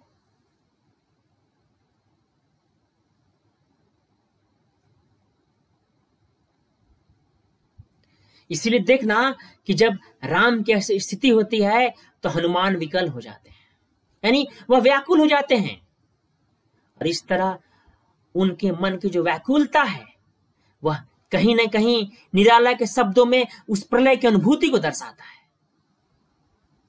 और देखना, ऐसी स्थिति में शिव चिंतित होकर देवी को सुझाते हैं कि वह बुद्धिमता से काम ले। राम जिस निराशा में है, जो व्याकुलता है तो शिव इस बात से चिंतित हो जाते हैं क्योंकि वो तो रुद्र के अवतार है। हनुमान जी किसके? रुद्र के अवतार है ना? कौन बताएगा रुद्र के कितने अवतार हैं?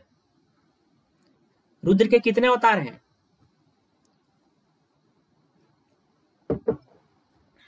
कौन बताएगा? नमस्ते अतुल। सब भूल गए क्या? बिल्कुल सूर्या, बहुत सही। जो क्लास में कंटिन्यू है, उसको पता रहेगा। आप लोग, यानी कि ग्यारह। अब जब राम इस तरह होते हैं तो अनुमान के अंदर विकलता आती है। इस पर शिव को भी अनुभूति होती है चिंतित हो जाते हैं और कहते हैं उनसे, सीखती से, कि बुद्धिमता से काम लो। रघुनंदन की आज्ञा और सेवा धर्म याद दिलाकर देवी हनुमान को शांत करती है। ध्यान देना। और दूसरी ओर विभीषण राम को उनके और उनकी सेना का बाहुबल याद दिलाकर उन्हें प्रोत्साहित करने का प्रयास करते हैं। अर्थात जिस राम स्थिति में है, जो आँसू निकल रहे हैं, अर्थात जिस पराजय बोध आ रहा है, ध्यान देना तो उसी बात को यहाँ पर जो है हनुमान बताते हैं और शिव भी चिंतित होते हैं और शक्ति को भेजते हैं। दूसरी ओर देखना विभीषण राम को उनके, उनकी सेना का बाहुबल याद दिलाकर उन्हें प्रोत्साहित करने का प्रयास करते लेकिन इससे भी राम पे कोई प्रभाव नहीं पड़ता है। उनकी चिंता तो इसी बात में है कि शक्ति तो रावण के पक्ष में है। ऐसे में युद्ध मात्र नर, वानर और राक्षसों का नहीं रहा था। ध्यान देना, यानी कि जो राम की जो विस्मय, जो इस दुख की एक बड़ी वजह यह भी है जो शक्ति है, वह रावण के पक्ष में है। ऐसे में युद्ध तो मात्र नर वानर राक्षसों का नहीं रहा अब हनुमान जी का नंबर कौन सा मुझे नहीं पता है, ठीक है? मैं वो हिंदू धर्म का वो माइथोलॉजिकल नहीं हूँ, ठीक है? चलिए, वो इंपॉर्टेंट नहीं हो, सबकी मत करो। अब समझना कि भाव समझना इस कविता की कि युद्ध की निराशा के अलावा देखना राम शक्ति की पूजा से पहले अंत में ध्यान देना राम की शक्ति पूजा। यानी कि जिस निराशा है, उस निराशा को दूर करने के लिए चूँकि शक्ति का संतुलन ज़रूरी है, ध्यान देना।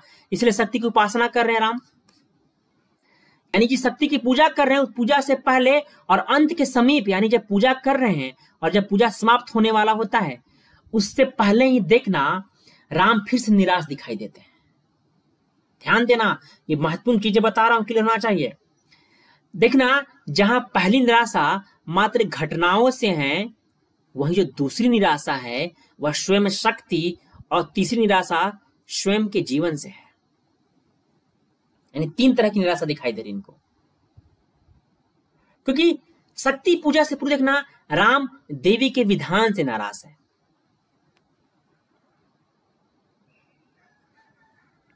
उनकी निराशा इस बात से है कि अधर्मी होने के बावजूद वह राम का श्रावण का साथ क्यों दे रही है?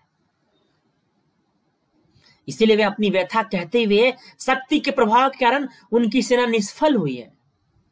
और उनके हस्त भी कह शक्ति के एक दृष्टि कारण बाण चलाते चलाते रुक गए थे।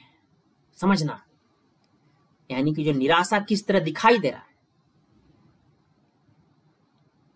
इसीलिए देखना, शक्ति और रावण की संधि का निराला बड़ा सुंदर वर्णन कहते हैं। कहते हैं कि देखा है महाशक्ति रावण को लिए अंक।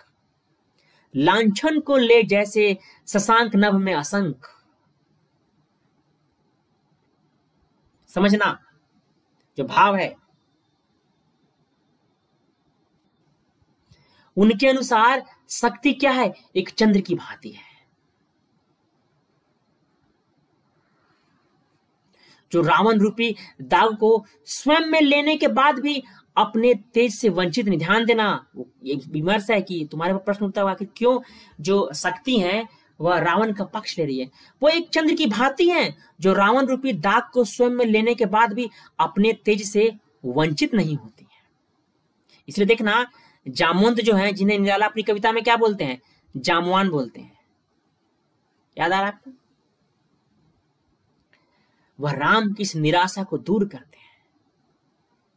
और कहते हैं, सुनना, कि जब रावण अशुद्ध होकर शक्ति को प्राप्त कर सकता है तो राम निश्चित ही शक्ति का वरदान उसको अर्जित करने के आप योग्य हैं। समझना क्योंकि जामवंत यही बात किसको बताते हैं? राम को। और ये अति महत्वपूर्ण बात बता रहा हूँ बच्चों, ध्यान सुनना पूरी कविता का मैं फिर से रिपीट कर रहा हूँ, बहुत ही अच्छी कविता है। यूपीएससी हमेशा प्रश्न पूछ रहा है और यह कविता आपको अच्छे से होना चाहिए और सारी बातें आपको एक किताब, एक नोट्स में नहीं मिलेगी, मेरी बात मान लो। तुम किसी के नोट्स के भरोसे पड़े हो तो वह नोट्स नोट्स रह जाएगा। वो नोट्स तुम्हारे किसी का काम कर याद रख लेना यदि नोट्स से ही सब कुछ हो जाता तो जो बच्चे वास्तव में टॉप करते पढ़ते हैं, वो क्यों अच्छे शिक्षक से जुड़ने की कोशिश करते हैं? क्योंकि पता है एक शिक्षक आपको उस विमर्श तक ले जाता है जो कई किताबों में संकलन होता है। यदि हर बातें नोट्स किताबों में ही होता तो फिर शिक्षक की ज़रूरत क्या पड़ती? उस विमर्श तक जाने के लिए ही तो आपको शिक्षक की ज़रूरत पड़ती है। और वास्तव में शिक्षक का अभिप्राय खासकर जो ऑप्शनल में टीचर को उतना गहरा होना पड़ता है। यदि उतना गहराई में नहीं है तो यूपीएससी में आपको वह अच्छे मार्क्स नहीं दिला पाएगा। तीन सौ प्लस की जो संकल्पना है, वह शिक्षक आपको नहीं दिला सकता है। और ऊपरी तौर पे बातों से कभी भी ऑप्शनल में मार्क्स नहीं आएँगे। इसलिए मैं इतनी गहराई में आप लोग को उतार रहा हूँ। अभी आप लोग गहराई में उतर रहे आप लोग को दिक्कत हो रही है। लेकिन आगे चल के ये गहराई आपको समझ में आएगी और ये गहराई आपको निसंदेह आगे ले जाएगी।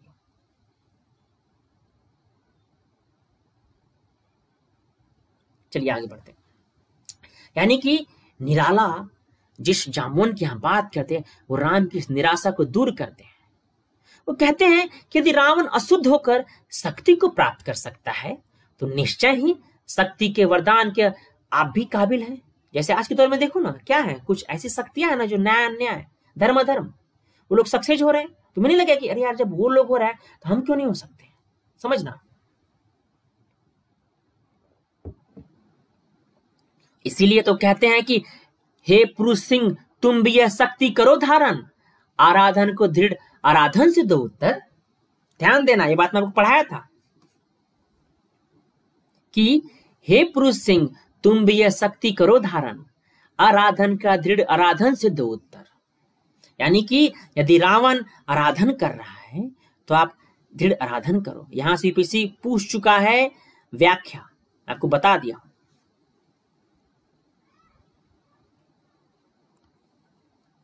समझना। मैं आगे बताऊँगा दृढ़ आराधन आराधन क्या एक बार फिर से। यानी कि एक तरीके से कह सकते हो कि जिस तरह जो जामवंत है, समझना, वह आराधन के बदले जिस आराधन की, दृढ़ आराधन की बात करो, क्या एक तरीके सामान्य भाषा में कहो तो ईट के जवाब पत्थर देने से लिया समझना मेरी बात को। यानी कि शक्ति को पुनः अर्जित करके अपने उस सेना बल और सामर्थ्य को क्या करना पुनः ज़िंदा करना है। और राम को युद्ध करने की यह बात जामुन कहते हैं। इसीलिए देखना, वह नौ दिनों की शक्ति पूजा करते हैं, ध्यान देना। अभी नवरात्र चलने वाला है। याद आ रहा है? इस तरह से देखना कि पूजा की जब समाप्ति को बढ़ते हुए जरा राम जब अंतिम उसमें नीलकमल चढ़ाना, ध्यान देना, शक्ति को प्रसन्न करने के लिए नीलकमल चढ़ाना होता है तो जब यह मैं पहले बताया था कि राम के अंदर तीन तरह की निराशा, एक तो पूजा से पहले भी और पूजा के अंतिम जब पहुँचते समय भी तब भी उनके अंदर निराशा आती है। क्यों? कि देखना जब राम अंतिम नीलकमल को चढ़ाने के लिए अपना हाथ आगे बढ़ाते हैं, तब उनके हाथ कुछ नहीं लगता है। और इस तरह उनका ध्यान भंग हो जाता है। और असिद्धि की विचार से इस कविता में, घटनाक्रम तीसरी बार उनको निराशा आती है। ध्यान देना निराशा कोई आ, ऐसी वस्तु स्थिति है ऐसी मनोभाव है जो प्रत्येक मानव के मन में आता है। वो प्रत्येक मानव के जीवन विमर्श का एक हिस्सा है। यानी कि उस निराशा के माध्यम से कहीं ना कहीं मनुष्य के अपने विमर्श तक पहुँचता है। और देखना कि इस घटनाओं से अपने से अयोग्य व्यक्ति के साथ अच्छा होते हुए देखकर होने वाली निराशा सभी ने महसूस की। क्या हम तुम महसूस नहीं करते हो? कहते हो ना कि, यार, मैं तुमसे ज़्यादा काबिल था, लेकिन आज मैं उस वस्तु स्थिति में नहीं हूँ। वो हमसे आगे या संघर्ष मतलब या वो हमसे सफल है। इस तरह की बात। है तो यहाँ भी देखो किस मनोभावों को उजागर कर रहे हैं निराला जी। और कह रहे हैं कि निराशा तो एक मानवीय गुण है। घटनाओं और अपने से योग्य, अयोग्य व्यक्ति के साथ अच्छा होते हुए देखकर जो निराशा है वो सभी ने महसूस किया होगा। लेकिन राम को तो तीसरी बार निराशा होती है। और यह याद रखना, वह सिर्फ़ एक कर्मठ व्यक्ति को ही हो सकती है। ध्यान देना, निराशा भी बोल रहा हूँ, इसको जीवन में याद रखना, हर चीज़ का एक सकारात्मक पहलू होता है। समझना, वह तुम्हारा विमर्श है कि तुम उसे कितना सकारात्मक ले रहे हो, प्रत्येक घटनाक्रम को। यानी इसीलिए कहते हैं कि धिक जीवन को जो पाया ही आया विरोध। सुनना, धिक जीवन को जो पाता ही आया विरोध, धिक साधन जिसके लिए सदा ही किया विरोध। यानी कि कहने का अभिप्राय क्या है? धिकार है मुझे से जीवन पे।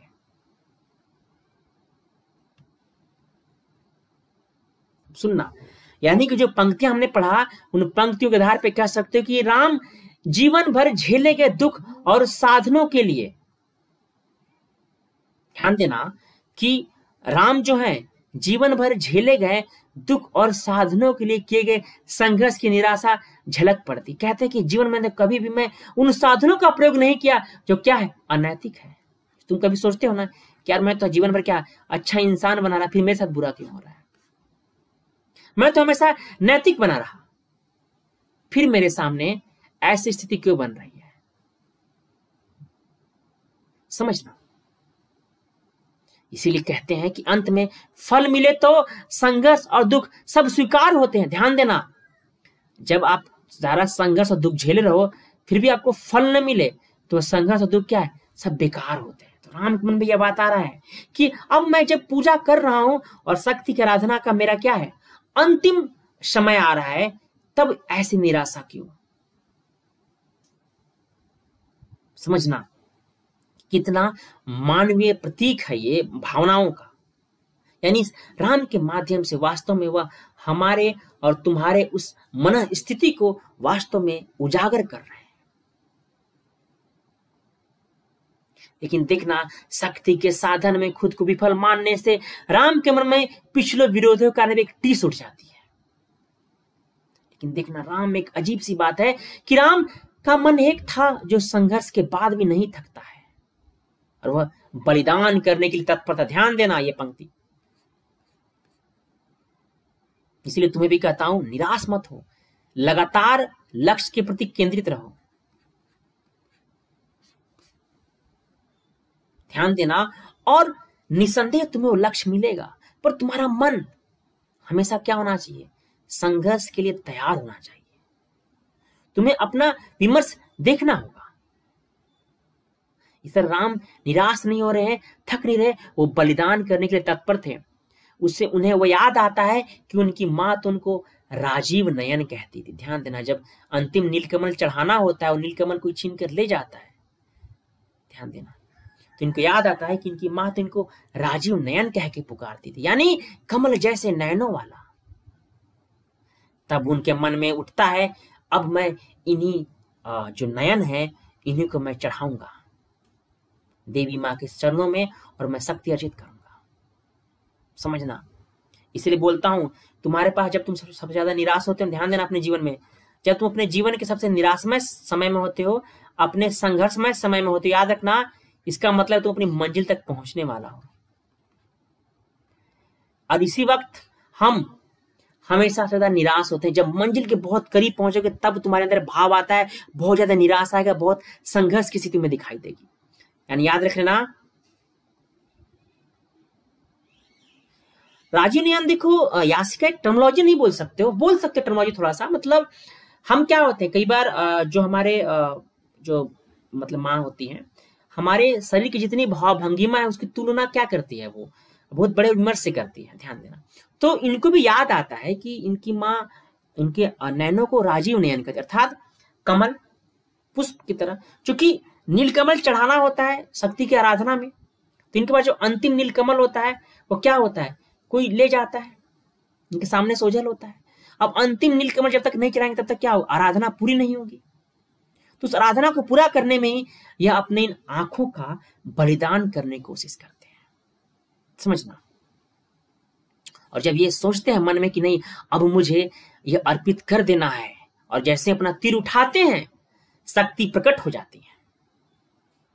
और ध्यान देना शक्ति जब प्रकट होती है तो आशीष देकर उनके शरीर में लीन हो जाती है। ध्यान देना, जिस तरह रावण को तो अंक में यानी गोद में ली होती, लेकिन राम के हृदय में आ जाती है, उनके शरीर में लीन हो जाती है। तो एक तरीके से पूरी कविता की इस तरह से व्याख्या और कविता की पूरी जो बातें बताया आप लोगों को, क्लियर है? पूरी कथानक एक तरीके से बता दिया मैं? पूरे भाव बता दिया?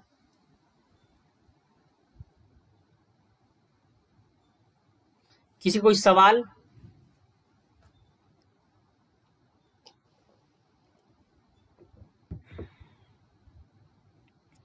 इंटरेस्टिंग लग रहा है कविता।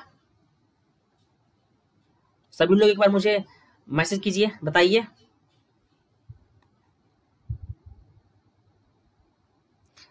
यासिका, देखो, मैं जितनी बातें बता समझ में आया? बिल्कुल अवनीश नर करो मन को। ये रचना है मैथिली चंद्रगुप्त की। ये मैं पीडीएफ आप लोग को सेंड कर दूँगा, ध्यान सुनना। और पीडीएफ सेंड करने के बाद उसमें देख लेना, ठीक है?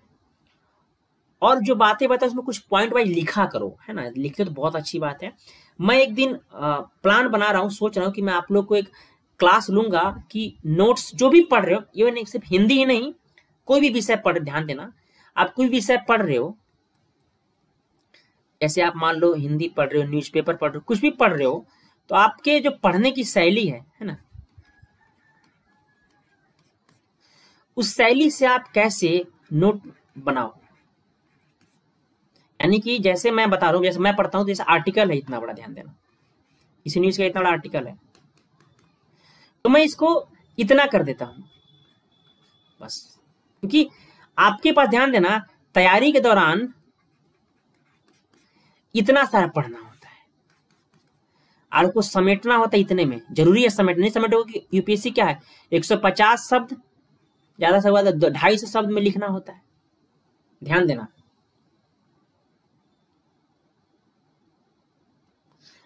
देखो, चंदन, मैं हमेशा कहा हूँ, जब भी मैंने डिस्कस लिया हुआ था सिलेबस पे, ध्यान देना, जब मैंने सिलेबस का डिस्कस किया हुआ था वीडियो पड़ा हुआ है, या फिर जब मैंने तैयारी को लेकर बातें की थी, मैं कभी भी ख्याली पुलाव वाली बात नहीं करता, ध्यान देना।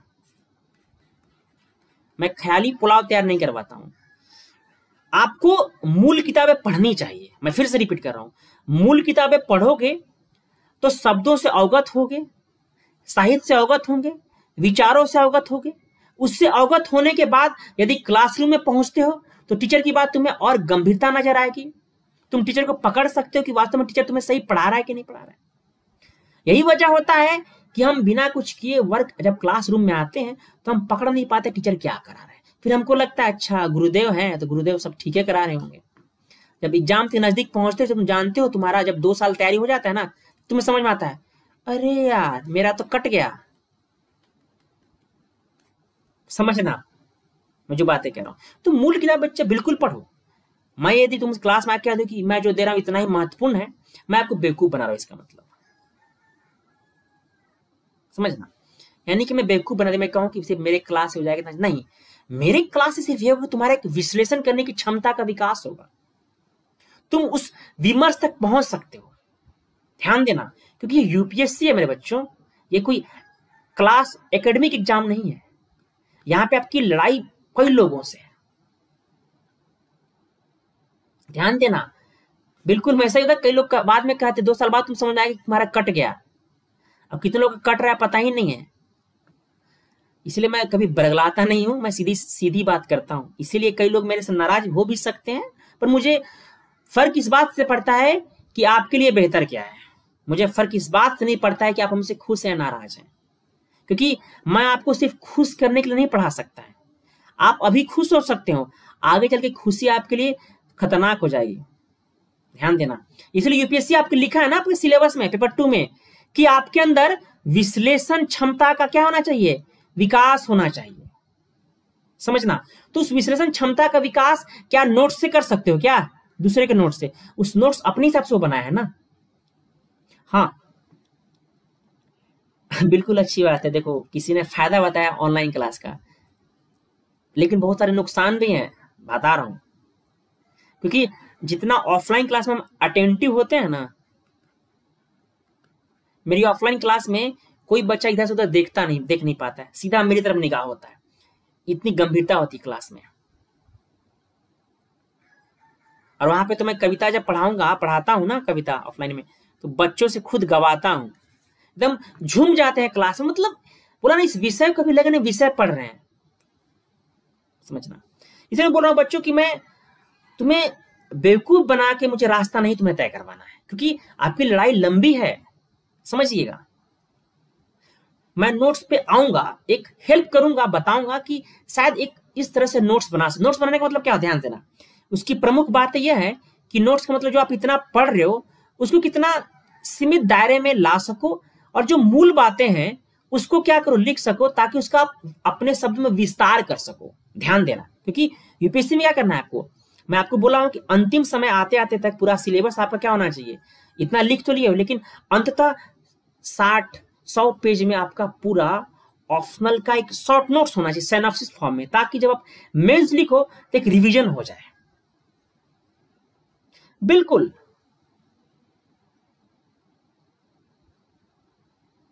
चलिए। तो आप लोग को कोई दिक्कत तो नहीं है? मैं आगे बढ़ू क्लास? अब आगे ले चलो?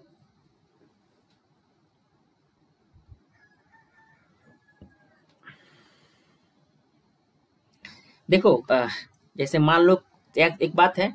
मान लो किसी के फॉलोवर या बच्चे कितने हैं? वन मिलियन है ध्यान देना। वन मिलियन अब मान लो मेरे फॉलोवर बीस ही हैं ध्यान देना।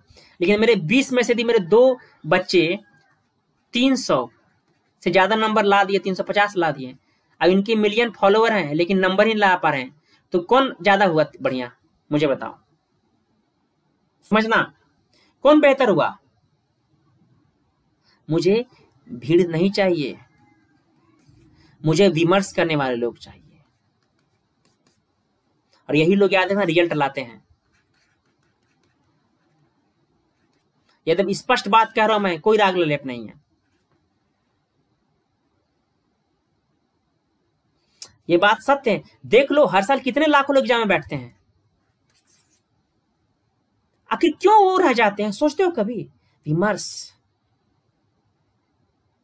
इसलिए बोलता हूँ कि संघर्ष के पथ पे आगे बढ़ो। ये राम नवीन कोई और नहीं, तुम्हारे ही नाम है। समझे? मैं एक दिन बोला हूँ, राम पे मैं स्पेशल क्लास लूँगा। इसमें बताया सबकी चर्चा करूँगा। किसके राम? तुलसी के राम, वाल्मीकि के राम, कबीर के राम, केशव के राम निराला के राम, आधुनिक राम। तमाम मैं राम पर चर्चा करूँगा कि राम पर कितनी सारी किताबें लिखी गई हैं। मेरे पढ़ाने की शैली बच्चों बहुत विशिष्ट है। जिस दिन समझ में आ जाए तुम लोग को बहुत अच्छा लगेगा एग्ज़ाम ओरिएंटेड बिल्कुल सूर्य हंड्रेड हो सकता है नाम तुम्हारा है। आएगा, बहुत लोग को आएगा नाम। चलो मैं आगे बढ़ता हूँ। बहुत हो गए तो की बातें। चलिए।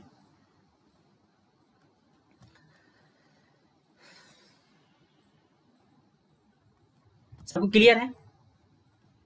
चलिए इससे पहले मैं आपको प्रकृति का थोड़ा सा कुछ बातें क्लियर कर देता हूँ है ना? उतनी बातें पढ़ने का देखना कि आ, मैंने पेन कहा रख दिया? चलो। देखना कि आ, जैसे ही राम अपनी प्रकृति का जो बाह्य प्रकृति, ध्यान देना, मैं जिस प्रकृति की तुलना किया था, अर्थात छायावादी जिस आंतरिक और बाह्य प्रकृति की बात कर रहे हैं, ध्यान देना। इस आंतरिक और बाह्य प्रकृति की बात करें। जब संतुलन प्राप्त कर लेते हैं राम, मैंने देखा किस तरह पूजा करते हैं, आराधना हो जाती है। तो जब राम जब एक सामंजस्य बना लेते हैं आंतरिक और बाह्य से तो क्या होता है? उनकी निराशा दूर हो जाती है, ध्यान देना। निराशा क्या होती है उनकी? दूर हो जाती है। तुम्हें बच्चों, अपनी निराशा इसी तरह दूर करनी है। मैं हमेशा कहता हूँ, कुछ लोग होंगे, ध्यान देना, जो बातें बताने वाला हूँ, कुछ लोग क्या होंगे? प्रेम में विफल महसूस होता होगा तुम्हें कि तुम प्रेम विफल हो चुके ध्यान देना, कुछ लोग को लगता होगा कि प्रेम में क्या विफल है।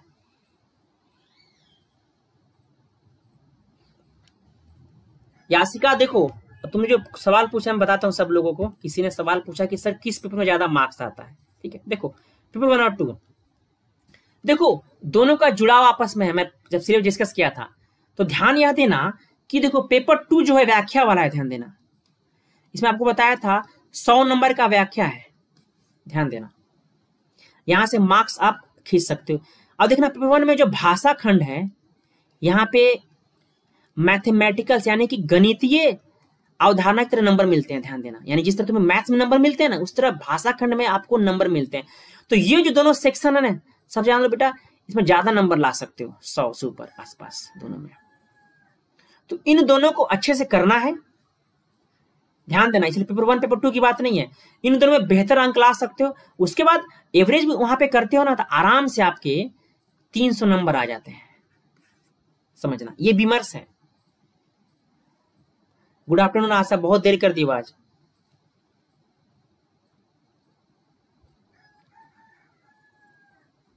समझना। सुनो मैं आता हूँ। यानी जो निराशा दूर की है राम, जैसे तुम्हारे मन में निराशा हो, तुम्हें लगता है कि तुम प्रेम विफल हो चुके, तुम दुनिया के सबसे अभागे इंसान हो? तुम लोग को लगता है कई बार, दुनिया का सबसे अभागे इंसान हो, तुम्हारा प्रेम तुमसे दूर हो गया। मन में चलता है तुम लोगों के, क्योंकि मैं बाईपास से आया नहीं हूँ, तुम लोग की उम्र से गुजरा हुआ हूँ मैं।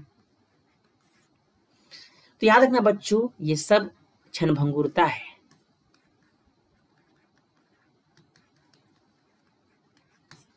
सब केमिकल लोचा है। समझ रहे यानी राम जिस निराशा में है, उस निराशा को जब राम अपने समन में अर्थात जिस तरह तुम अपने उस आंतरिक प्रकृति और बाह्य प्रकृति से खुद को जोड़ नहीं पाते हो, उस दिन तुम निराश होते हो। तुम्हारी निराशा की वजह यही होती है, इसलिए ढूंढो कि तुम्हारा आंतरिक प्रकृति क्या है और तुम्हारी बाह्य प्रकृति क्या है, दोनों के मध्य क्या करो, एक जुड़ाव करो। उस दिन तुम्हें लगे तुम निराश हो रहे हो। समझना। इस तरह तुम क्या बढ़ोगे? आगे बढ़ जाओगे। तुम्हें कभी भी कोई दिक्कत नहीं होगी। चलो, मैं राम की तरफ़ बढ़ता हूँ। तो राम यानी कि जिस आंतरिक और बाह्य प्रकृति को संतुलन स्थापित करते निराशा को दूर करते हैं। यानी रचना क्या संकेत देती है? कि शक्ति का पर्याय क्या है? क्या है? यानी कि शक्ति कुछ और नहीं शक्ति का पर्याय है कि राम ने प्रकृति की शक्ति क्या किया है? उसके स्वरूप को मान लिया है। यानी कि ज़ाहिर है, वह एक तरीके से भावनाओं और बौद्धिकता में सामंजस्य कर रहे हैं। ध्यान देना बच्चों, इसका अभिप्राय क्या है कि वह एक तरफ़ भावनाओं और बौद्धिकता का क्या है? सामंजस्य बनाते हैं। हमने कमाई नहीं पढ़ा था। और आपको याद रखना, पेपर फोर्थ में जब आपका इथिक्स का जो पेपर फोर्थ है जीएस का, पढ़ना है ना इमोशनल इंटेलिजेंस याद आ रहा है? तो ये सारी बातें आपको इसलिए बोल रहा हूँ, पेपर फोर्थ आपका बहुत यहाँ से सीखने को मिलेगा पेपर फोर्थ के लिए। मैं पेपर फोर्थ के बहुत सारे हिस्से पढ़ाता हूँ, ठीक है? सारी चीज़ नहीं पढ़ाता जानबूझकर मैं, क्योंकि वो अलग बीमारी से उस पेपर फोर्थ की बहुत सारी बातें को मैं बेहतर तरीके से आपको बता दूँगा। और ऐसे में ये दो चीज़ों में याद रखना। मैं, एक तो हिंदी आपको ऑप्शनल एक पेपर फोर्थ में, और ऐसे में। ऐसे में आपको 170 मार्क्स लाना है, ध्यान देना। और आपको पेपर फोर्थ में 120 के नंबर आसपास ला सकते हो। इस तरह बता रहा हूँ मैं, इन तीजों तीन चीज़ों के माध्यम से आपको बेहतर अंक दिलवा सकता हूँ। याद रखना। उसके बाद आप एक जनरल एवरेज नंबर लाना, बाकी में आप आराम से टॉप कर जाओगे। आपका तैयारी स्मार्ट होना चाहिए। हमेशा कहता हूँ स्मार्ट तैयारी होनी चाहिए। समझना? यानी कि राम उस भावनाओं और बौद्धिकता का सामंजस्य बनाते हैं। याद रखना, जितना ज़्यादा तुलना करोगे ना, मैं इतनी इतनी बातें बातें तुलनात्मक बताने रहा मैं कभी पढ़ाने मेरा तरीका सटीक होता है, पर उस तरह सटीक नहीं, बताने के स्तर पर सटीकता होती है। भाव के स्तर उतनी सटीकता नहीं होती, उसमें कई गंभीरता होती है। बहुत सारे आयाम बताता हूँ आपको कविताओं का। याद रखना कि सब लोग व्याख्या करेंगे। तो तुम्हें कितना नंबर लाना है? दस में कम से कम तुम्हें छह से सात नंबर लाना है। ध्यान देना। मिनिमम यानी कि उन्होंने उस बौद्धिकता और भावनाओं के सामंजस्य को बना लिया था। यानी कि समझना कैसे? राम क्या कहते हैं? सुनना यहाँ पे। राम देखना, पार्वती, ध्यान देना। बहुत बड़ी बात बता रहा हूँ।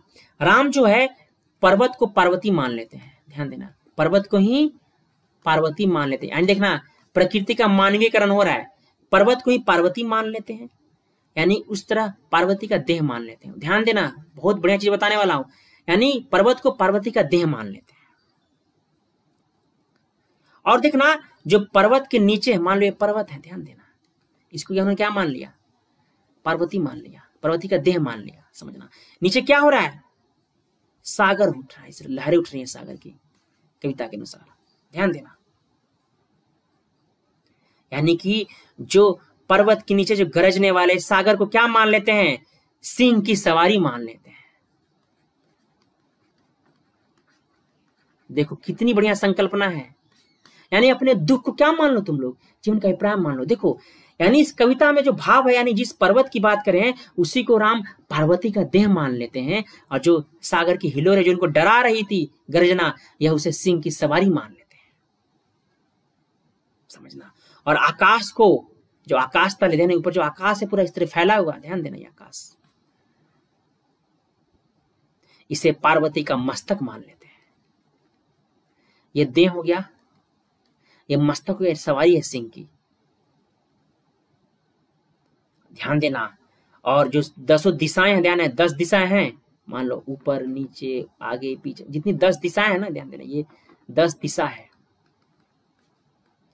इसे दस दिशा, यहीं से याद आ रहा है, बंगाल में दस भुजा। इसी को माँ दुर्गा का दस भुजा मान लेते हैं। ऐसी व्याख्या कहीं नहीं मिले किसी किताब में, ढूंढ लेना।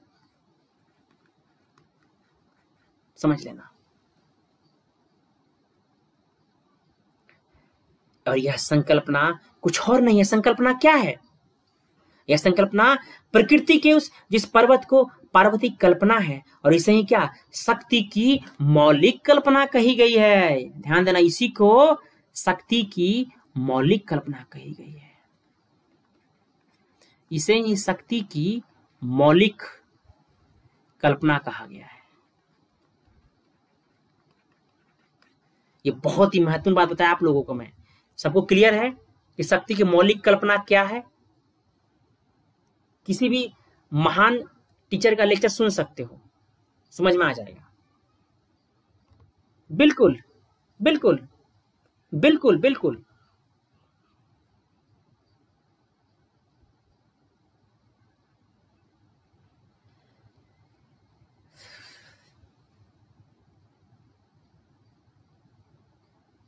तो क्लियर है सबको? जितनी बातें बताया मैं।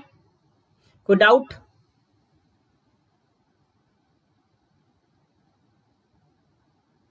जिस शक्ति की मौलिक कल्पना की बात है, क्या जो एक राम जो है वो मानते हैं, जिस देह को, जिस विमर्श को, जो यानी जो निराशा का भाव था, जिसकी वजह से निराशा आ रही थी, उस निराशा को क्या करते हैं? सकारात्मक स्वरूप में परिवर्तन करते हैं। अच्छा लगा? चलिए, मैं आगे बढ़ू फिर? चलिए, आगे बढ़ते फिर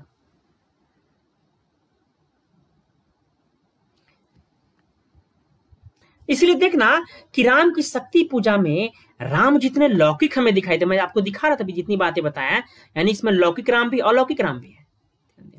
यानी राम जितने लौकिक हैं, राम उतने अलौकिक भी हैं।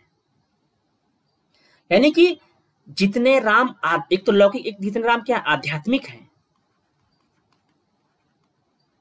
उतने ही राम क्या है? बौद्धिक भी है।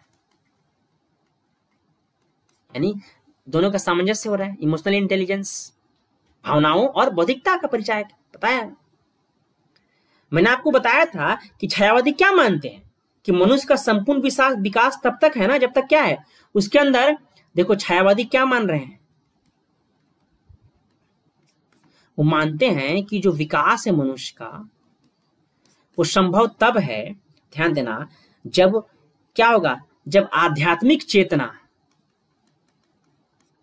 जो आध्यात्मिक चेतना है व्यक्ति का, वह और उसका विज्ञान सम्मत चेतना। बौद्धिकता को बोलते हैं विज्ञान सम्मत चेतना। इनका आपस में क्या हो? समन्वय हो। देखो, एक प्रकृति का मैं जोड़ रहा था, एक यहाँ पे जोड़ रहा हूँ, लौकिक अलौकिक के साथ। ये दोनों चेतना ही क्या है? इन दोनों का सामंजस्य है, वही तो विकास है मनुष्य का, यही तो इमोशनल इंटेलिजेंस है। हम एकदम भावुक भी नहीं होना है, एकदम विज्ञानवादी भी नहीं होना है। इसलिए तो देखना कि जब राम, इसका परिचय क्या है? जब उनका जो कमल दल जब चोरी हो जाता है, वो राम को नहीं मिलता है, तब क्या करते हैं? साधना भंग ना, इसलिए अपना क्या करते हैं? आँखों को ही राजीव न्याय मानकर उसे अर्पित करने की कोशिश करते हैं। यानी कि ये क्या है? आपसे पूछा जा सकता है कि कविता में आध्यात्मिकता और बौद्धिकता की संकल्पना किस रूप में है? या आध्यात्मिक चेतना और बौद्धिक चेतना का अभिप्राय क्या है? क्या यह मनुष्य का विकास है? तो ये बात को आप संकल्पित करके बता सकते हो राम के उस चेतना से, राम के उस विमर्श से। इसलिए तो कहते हैं ना कि होगी जय होगी है पुरुषोत्तम नवीन, कह महाशक्ति राम के वंदन में हुई लीन। समझना? तो जिस राम की मौलिक सॉरी लौकिक, अलौकिक कल्पना है जिसको मैंने जोड़ा आपके बौद्धिक बौद्धिक सम्मत और विज्ञान सम्मत से। क्लियर है सारी बातें?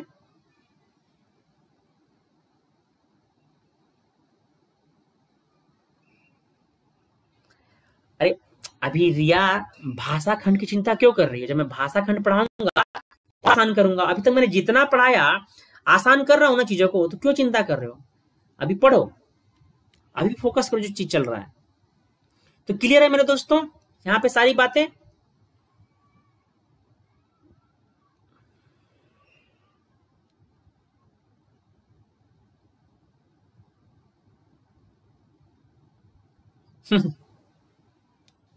चलो, इस पर बात करेंगे, जब हम रिया, में आपकी बात जो है ना, जब मैं रीतिकाल पढ़ाऊँगा, ध्यान देना, जब मैं रीतिकाल पढ़ाऊँगा तो मैं बहुत अच्छे से बात करूँगा। बहुत मज़ा आएगा सबको। तब सारी बातें करेंगे। हम्म चलो ठीक है। अच्छी बात है, सब लोग कर रहे हो। चलिए, आइए। चलिए, पहले पढ़ते हैं, देखते हैं। देखना कि जो आलोचक हैं वह मानते हैं कि जो छायावादी जो कवि हैं और जो भक्तिकालीन कवि हैं, उनके मध्य लोक मांगलिक चेतना मैं आपको बताया था शुरू में कल की क्लास में, कि जो शुक्र जी की लोक साधना है, चेतना है उससे बातें प्रदर्शित होता है। कल की क्लास याद करो सब लोग। मैं दिखा देता हूँ, रिपीट करता हूँ आप लोगों को। दिख जाएगा। बहुत सारे स्लाइड है। मैं आज सारे स्लाइड के पीडीएफ बना के आपको क्लास में टेलीग्राम पर सेंड कर दूँगा। ठीक है? चिंता मत करो। सारी मैं दूँगा। जो मैंने लिखा है, नोट्स बनाया है पूरा। देखो, मैंने कल बताया था आप लोगों को। तो आपको दिखाई दे देगा। रिपीट कर देता हूँ मैं। देखो, है ना? आचार्य शुक्ल द्वारा प्रतिपादित लोक मंगल की साधना की कृति है। ये बात मैंने आपको बताया था कल। तो वही आपस में सबका जुड़ाव है। ध्यान देना, यदि अच्छे नंबर लाना है तो आपको इन सारे विमर्शों तक पहुँचना होगा, ये सारी बातें आप लोगों को करनी होंगी।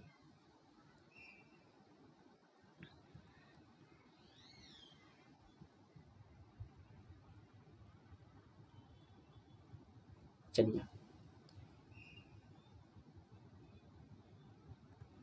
यानी कि जो यह मानते हैं कि छायावादी और भक्तिकालीन कवियों में क्या है, समता, लोकमांगलिक चेतना है। जिस तरह कहते हैं कि जो भक्तिकालीन कविता और जो छायावादी कविता में एक समता दिखाई देती है। समता क्या है? लोकमांगलिक। क्योंकि निराला क्या है? वो राम के माध्यम से इस कविता में क्या करने की कोशिश कर रहे हैं? लोकमांगलिक चेतना को जगाने की कोशिश कर रहे हैं। इसी का जुड़ाव किससे है? आराधन और ध्यान देने इसका जुड़ाव किससे है? आराधना और दृढ़ आराधना से है। ध्यान देना। जैसे मैं पिछला पेन है, देखना। यह है। यानी कि देखना कि एक तरफ़ कहते हैं कि जो दृढ़ आराधना है, जो राम कर रहे हैं कलर चेंज करता हूँ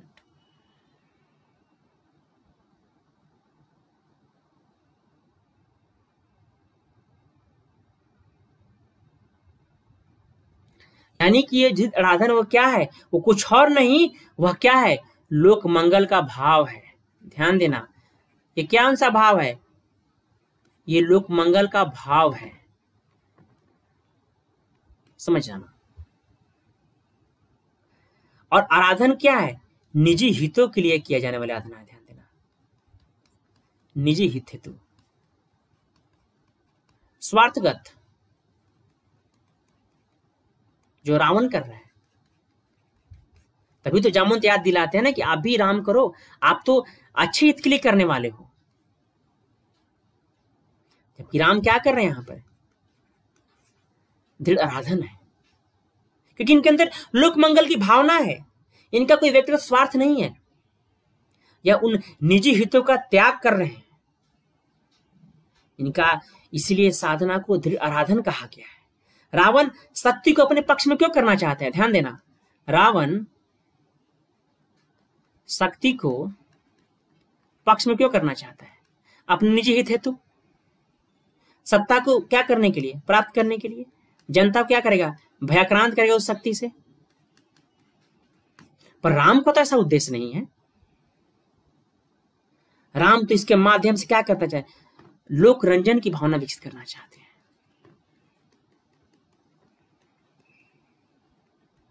समझना।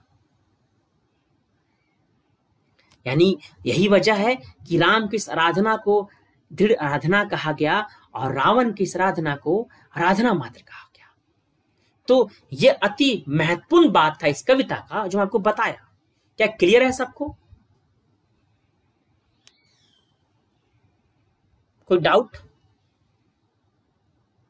बिल्कुल।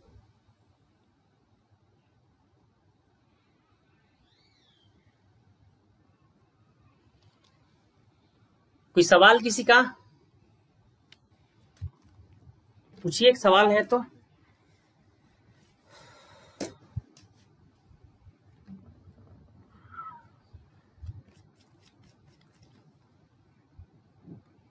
बिल्कुल बिल्कुल, सब एक ही है है ना? एक ही बात है। देखो, ये उपासना मात्र उपासना नहीं है इस कविता में। वह शक्ति की क्या है? जागरण है। ये क्या है? शक्ति का संधान है। वो शक्ति का संधान क्या? कल बताया था। वो नैतिक शक्ति का संधान है, जो आपको और हमारे मन में उठता है। वो उसकी बात है। कल मैंने आपको समझाया था कविता में। कल की लेक्चर में यदि आप भूल रहे हो तो याद करो।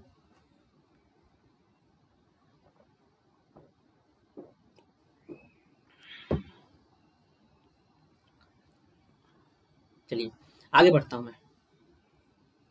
बात समझ में आ गई आपको?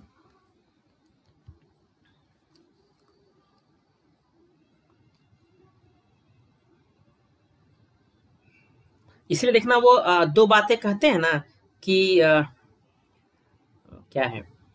हे पुरुष सिंह, तुम भी यह शक्ति को धारण। आराधन को दो दृढ़ आराधन से उत्तर ये यूपीएससी ने पूछा भी है।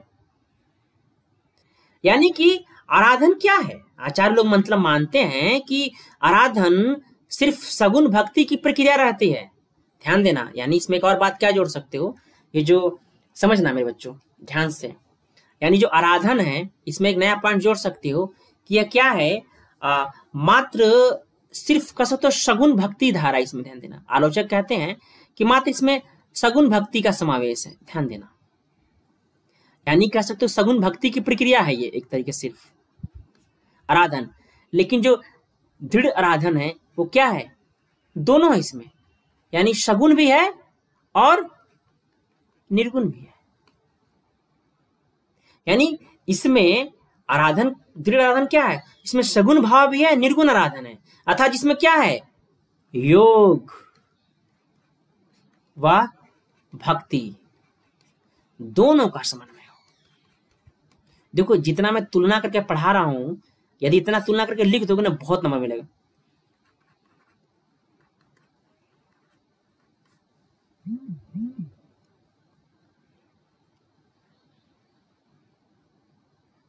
समझ पाए?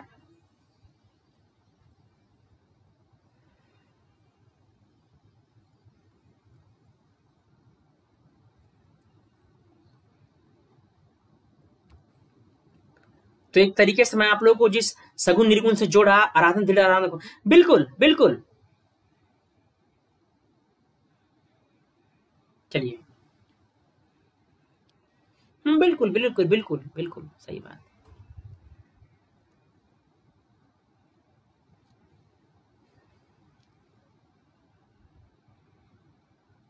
देखो, मैं लगभग इस कविता की वो सारी बातें कल की क्लास और आज क्लास के माध्यम से बता चुका आप लोगों को। बहुत सारी बातें। तो क्या सबको क्लियर है? कोई डाउट है? हम्म?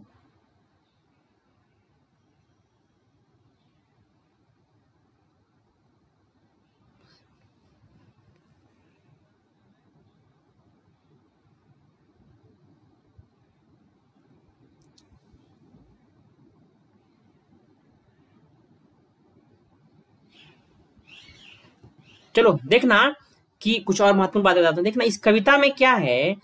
एक तरीके से नाटक की रूप है देखना, तीन तरह की योजना आपको दिखाई देगा। इस कविता में तीन तरह की योजना दिखाई देगी आपको, जो नाटक की होती है, तीन तरह की योजना। समझा देता हूँ। देखो, पहले दृश्य में क्या है? कविता का जो पहला दृश्य है इस तरह नाटक होता है ना, उस तरह। पहले दृश्य में क्या है? युद्ध का चित्रण है। ध्यान देना। दूसरे दृश्य में क्या है? दूसरा दृश्य में दिखाई देगा आपको कि दोनों जो पक्ष हैं, राम और रावण के,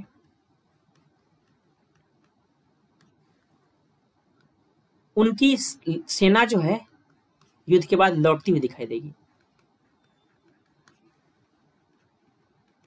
ध्यान देना। तीसरी जो बात है, वो क्या है? एक तरीके से जो राम की साधना का दृश्य है।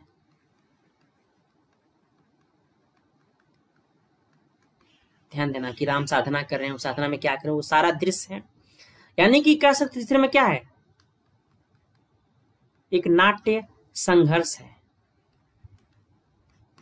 इस कविता में तीन तरह की योजना है। अब मैं पहला आपको बता, जब नाटक मैंने पढ़ाया था, यदि नाटक वाली क्लास आप लोग देखे होंगे, ध्यान देना जिसमें नाटक मैंने क्लास लिया हुआ है, जो नहीं लिए हो, उनको पता होना चाहिए। मैं छह नाटक पढ़ा चुका हूँ। मैंने आपको बताया था कि जो पश्चिमी नाटक की विशेषता है, नाटक और प्रांत तो मानते किसको? संघर्ष को। तो चूँकि इस कविता में भी इस तरह का संघर्ष दिखाई दे रहा है तो इसलिए इसमें नाटकीय तत्व की बात भी कही गई है। कि एक तरीके से क्या है? नाट्य संघर्ष क्या है? पश्चिमी नाटक तत्व की विशेषता है। इसमें संघर्ष कैसा है? जहाँ सफलता के लिए सॉरी राम क्या है? आशा, निराशा के मध्य हो रहे हैं। और वो क्या है? समस्या ग्रस्त है। और उस तरह जब एक कमल दल को चढ़ाते हैं, तब शक्ति प्रसन्न होती है। अब देखना मैं आपको बताया था कि इस कविता का तीन स्तर है। देखो, रामविलास शर्मा कहते हैं, ध्यान देना। बहुत महत्वपूर्ण बात रहा हूँ। तीन स्तर पे कविता है। पहला क्या है? ध्यान देना। राष्ट्रीय चेतना। यानी कविता का भाव का स्तर क्या है? तीन स्तर है। राष्ट्रीय चेतना। दूसरा क्या है? निराला जी खुद की जो व्यक्तिगत चेतना है उनकी।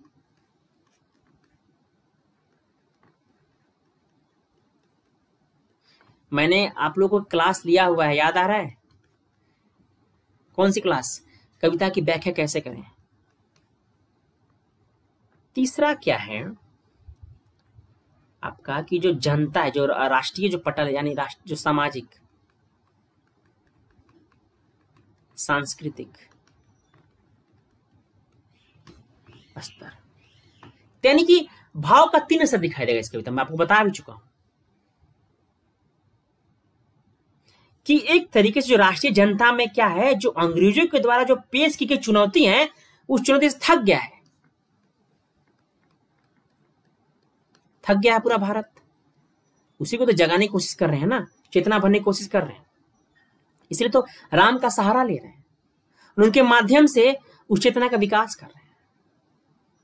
क्योंकि हर बार चुनौती क्या होती है? अलग होती है। जो हम लड़ रहे हैं राष्ट्रीय चेतना, पराधीनता से, हमारे सामने चुनौती हर बार अलग अलग होती है, जिस तरह राम के सामने आ रही है। और उनसे ही लड़ने तथा बचने का उपाय करता है। इसीलिए हम क्या करते हैं? कभी असहयोग आंदोलन। देखो, कभी हम क्या ले रहे हैं? असहयोग आंदोलन सविनय अवज्ञा आंदोलन, भारत छोड़ो आंदोलन। याद आ रहा है?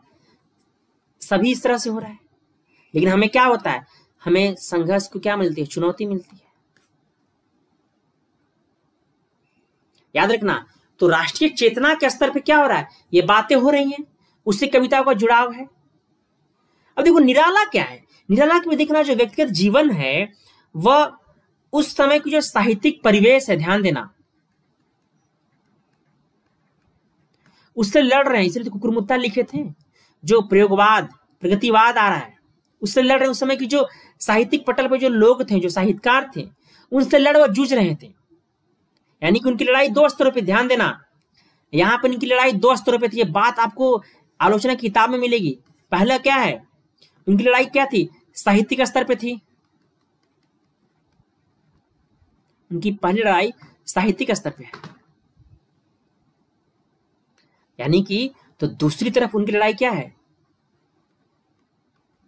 उनका जो जीवन है, ध्यान देना। जो सामाजिक लड़ाई थी उनकी। ध्यान देना। और देखना, दोनों ही स्तरों पे निराला क्या होते हैं? हताश हो जाते हैं। निराश हो जाते हैं निराला। इसलिए देखना, निराला एक पंक्ति कहते हैं, सुनना। यानी कि वह अपने साहित्यिक जीवन में क्या होते हैं? निराश हो जाते हैं। ध्यान देना। जो बातें बताना बच्चों बहुत इंपॉर्टेंट है।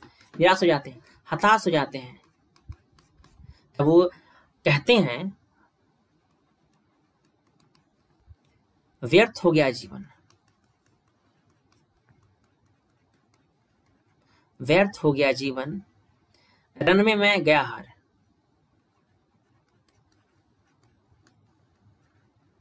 रनवे में मैं गया हार। इनकी कविता के भाव है। मैं भाव बताने के लिए कविता, दूसरी कविता जोड़ रहा हूँ। कहते हैं, दुख ही जीवन की कथा रही। दुखी जीवन की कथा रही। क्या कहूँ?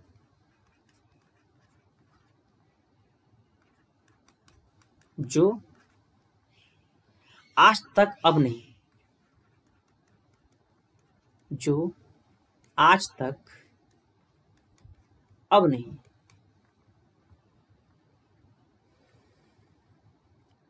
क्लियर हुआ सबको सारी बात?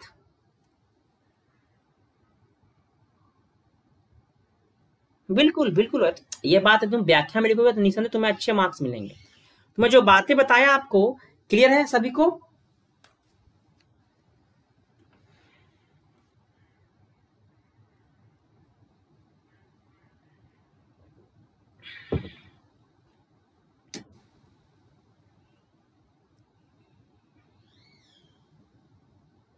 कब तक पढ़ना चाहते हो?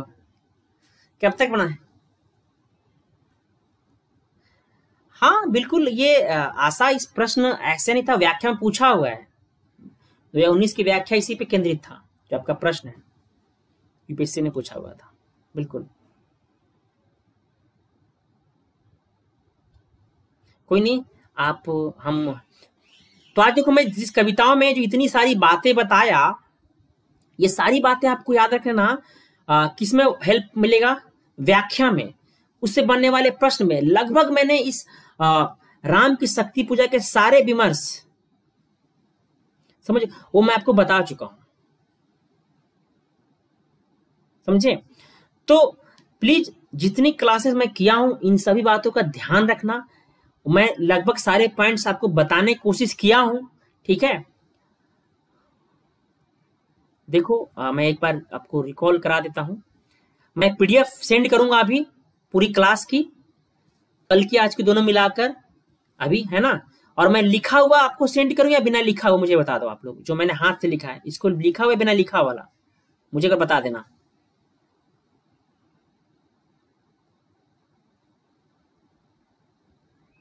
आप लोग मुझे फीडबैक दीजिए कि लिखा वाला भेजूं या बिना लिखा वाला? चलिए ओके ये सारी बातें मैंने आज हम लोग किए कल भी मैंने सारी बातें किया था। तो हमने करीब इस कविता पे एक अच्छा खासा समय दिया है समझाने के लिए आप लोगों को। ठीक है? बिल्कुल अभी भेज दूँगा मैं। आप लोग क्लास का जरा फीडबैक मुझे आ, क्लास जब कंप्लीट होता है तो भी कमेंट्स बॉक्स में लिख दिया करो है ना? बिल्कुल आप लोग मुझे क्लास की सारी फीडबैक आप लोग क्लास कंप्लीट होने के बाद प्लीज़ लिख दिया करो सभी लोग है ना? थोड़ा मुझे अच्छा लगता है एक मुझे पॉजिटिव फील होता है और मुझे बेहतर करने के लिए एक वो मिलता है ऊर्जा मिलता है है ना? यदि आप लोग सभी लोग फीडबैक दोगे तो अच्छा होगा सभी लोग।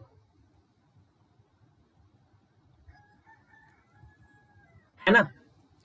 तो अब मुझे आ, एक बात बताइए आप लोग किस कविताओं का जो व्याख्या है, वो मैं प्रीवियस ईयर पेपर के माध्यम से भी कराऊँगा, ठीक है? तो जब अभी क्लास कंप्लीट होगा प्लीज़ सब लोग फीडबैक ज़रूर दे देना मैसेज में, है ना? देखो इस टाइप वाला सही रहता है, पर ये बताओ, हर बात को मैं कैसे टाइप कर सकता हूँ? जो मेरे मन में मनोभाव आ रहे हैं वो मैं कैसे टाइप कर सकता हूँ? बहुत सारी बातें होती है हर बात को टाइप करके नहीं दिया जा सकता है ना? समझो? वो बातें बातचीत में निकलती है संदर्भ में निकलता है। समझे आप लोग?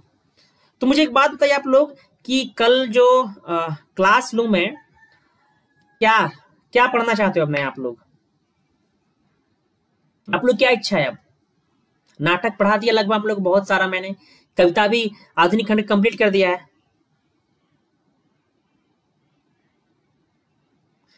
राइटिंग तो अभी तुम लोग मेरा देखे नहीं, हल्का फुल्का सैंपल दिया हूँ। अभी राइटिंग तो मैं लिखता हूँ तो अच्छा राइटिंग लिखता हूँ। वो भी कई बार ये टैबलेट की वजह से राइटिंग मेरी ऐसे हो जाती है। नहीं तो राइटिंग मेरी ऐसी नहीं है है ना? इसलिए जैसे मैं लिखता हूँ, देखो।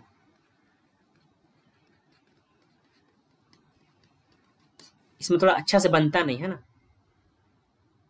चलो ठीक है, किसी ने कहा, कबीर सुरजैसी को पकड़ो। देखो, बिल्कुल बिल्कुल श्याम बिल्कुल शिवम, बहुत सही बात बोले हो। बात हमेशा तुम लोगों को मैं कहता हूँ। और ये तो साहित्य का विषय है। बिल्कुल अनिशा नोट्स वाली क्लास में बिल्कुल बिल्कुल। बिल्कुल बिल्कुल बिल्कुल, सही है। सही बात। तो किसी का कोई सवाल है और किसी नोट्स पे पूछा, इसके अलावा कोई सवाल है, आप पूछ लो आज की क्लास पे तो मैं भी हूँ, है ना? आपके सवाल मैं बिल्कुल देता हूँ। मैं कोशिश पूरी करता हूँ कि सबके सवालों का जवाब दे सकूँ। क्योंकि आपको कुछ समझ में आए, तभी मेरे पढ़ाने का उद्देश्य भी है। है ना? तो फिर से कह रहा हूँ, मुझे फीडबैक क्लास जब खत्म हो तो लाइव चैट में नहीं ऑफ़ वहाँ कमेंट्स में ज़रूर देना, सभी लोग, है ना? कल फिर मिलता हूँ मैं। नया टॉपिक साथ कुछ आपको सूचना मिल जाएगी टेलीग्राम पे। हाँ मैं ऐप पे बहुत जल्द फिर से प्रीवियस पेपर डिस्कस करने वाला हूँ। तो प्लीज़ वहाँ ज़रूर मुझे ज्वाइन करना ऐप पे। डिस्क्रिप्शन में मेरा लिंक दिया हुआ है है ना? और जो लोग टेलीग्राम चैनल ज्वाइन नहीं किए लिंक है, और ज्वाइन कीजिए। और जो अन अकेडमी के सब्सक्रिप्शन को लेना चाहते हैं तो ये मेरा कोड है और बहुत जल्द प्राइस हाइक होने वाला है। तो प्लीज़ ओके सभी को मेरा प्यार भरा नमस्कार। हम कल मिलते हैं।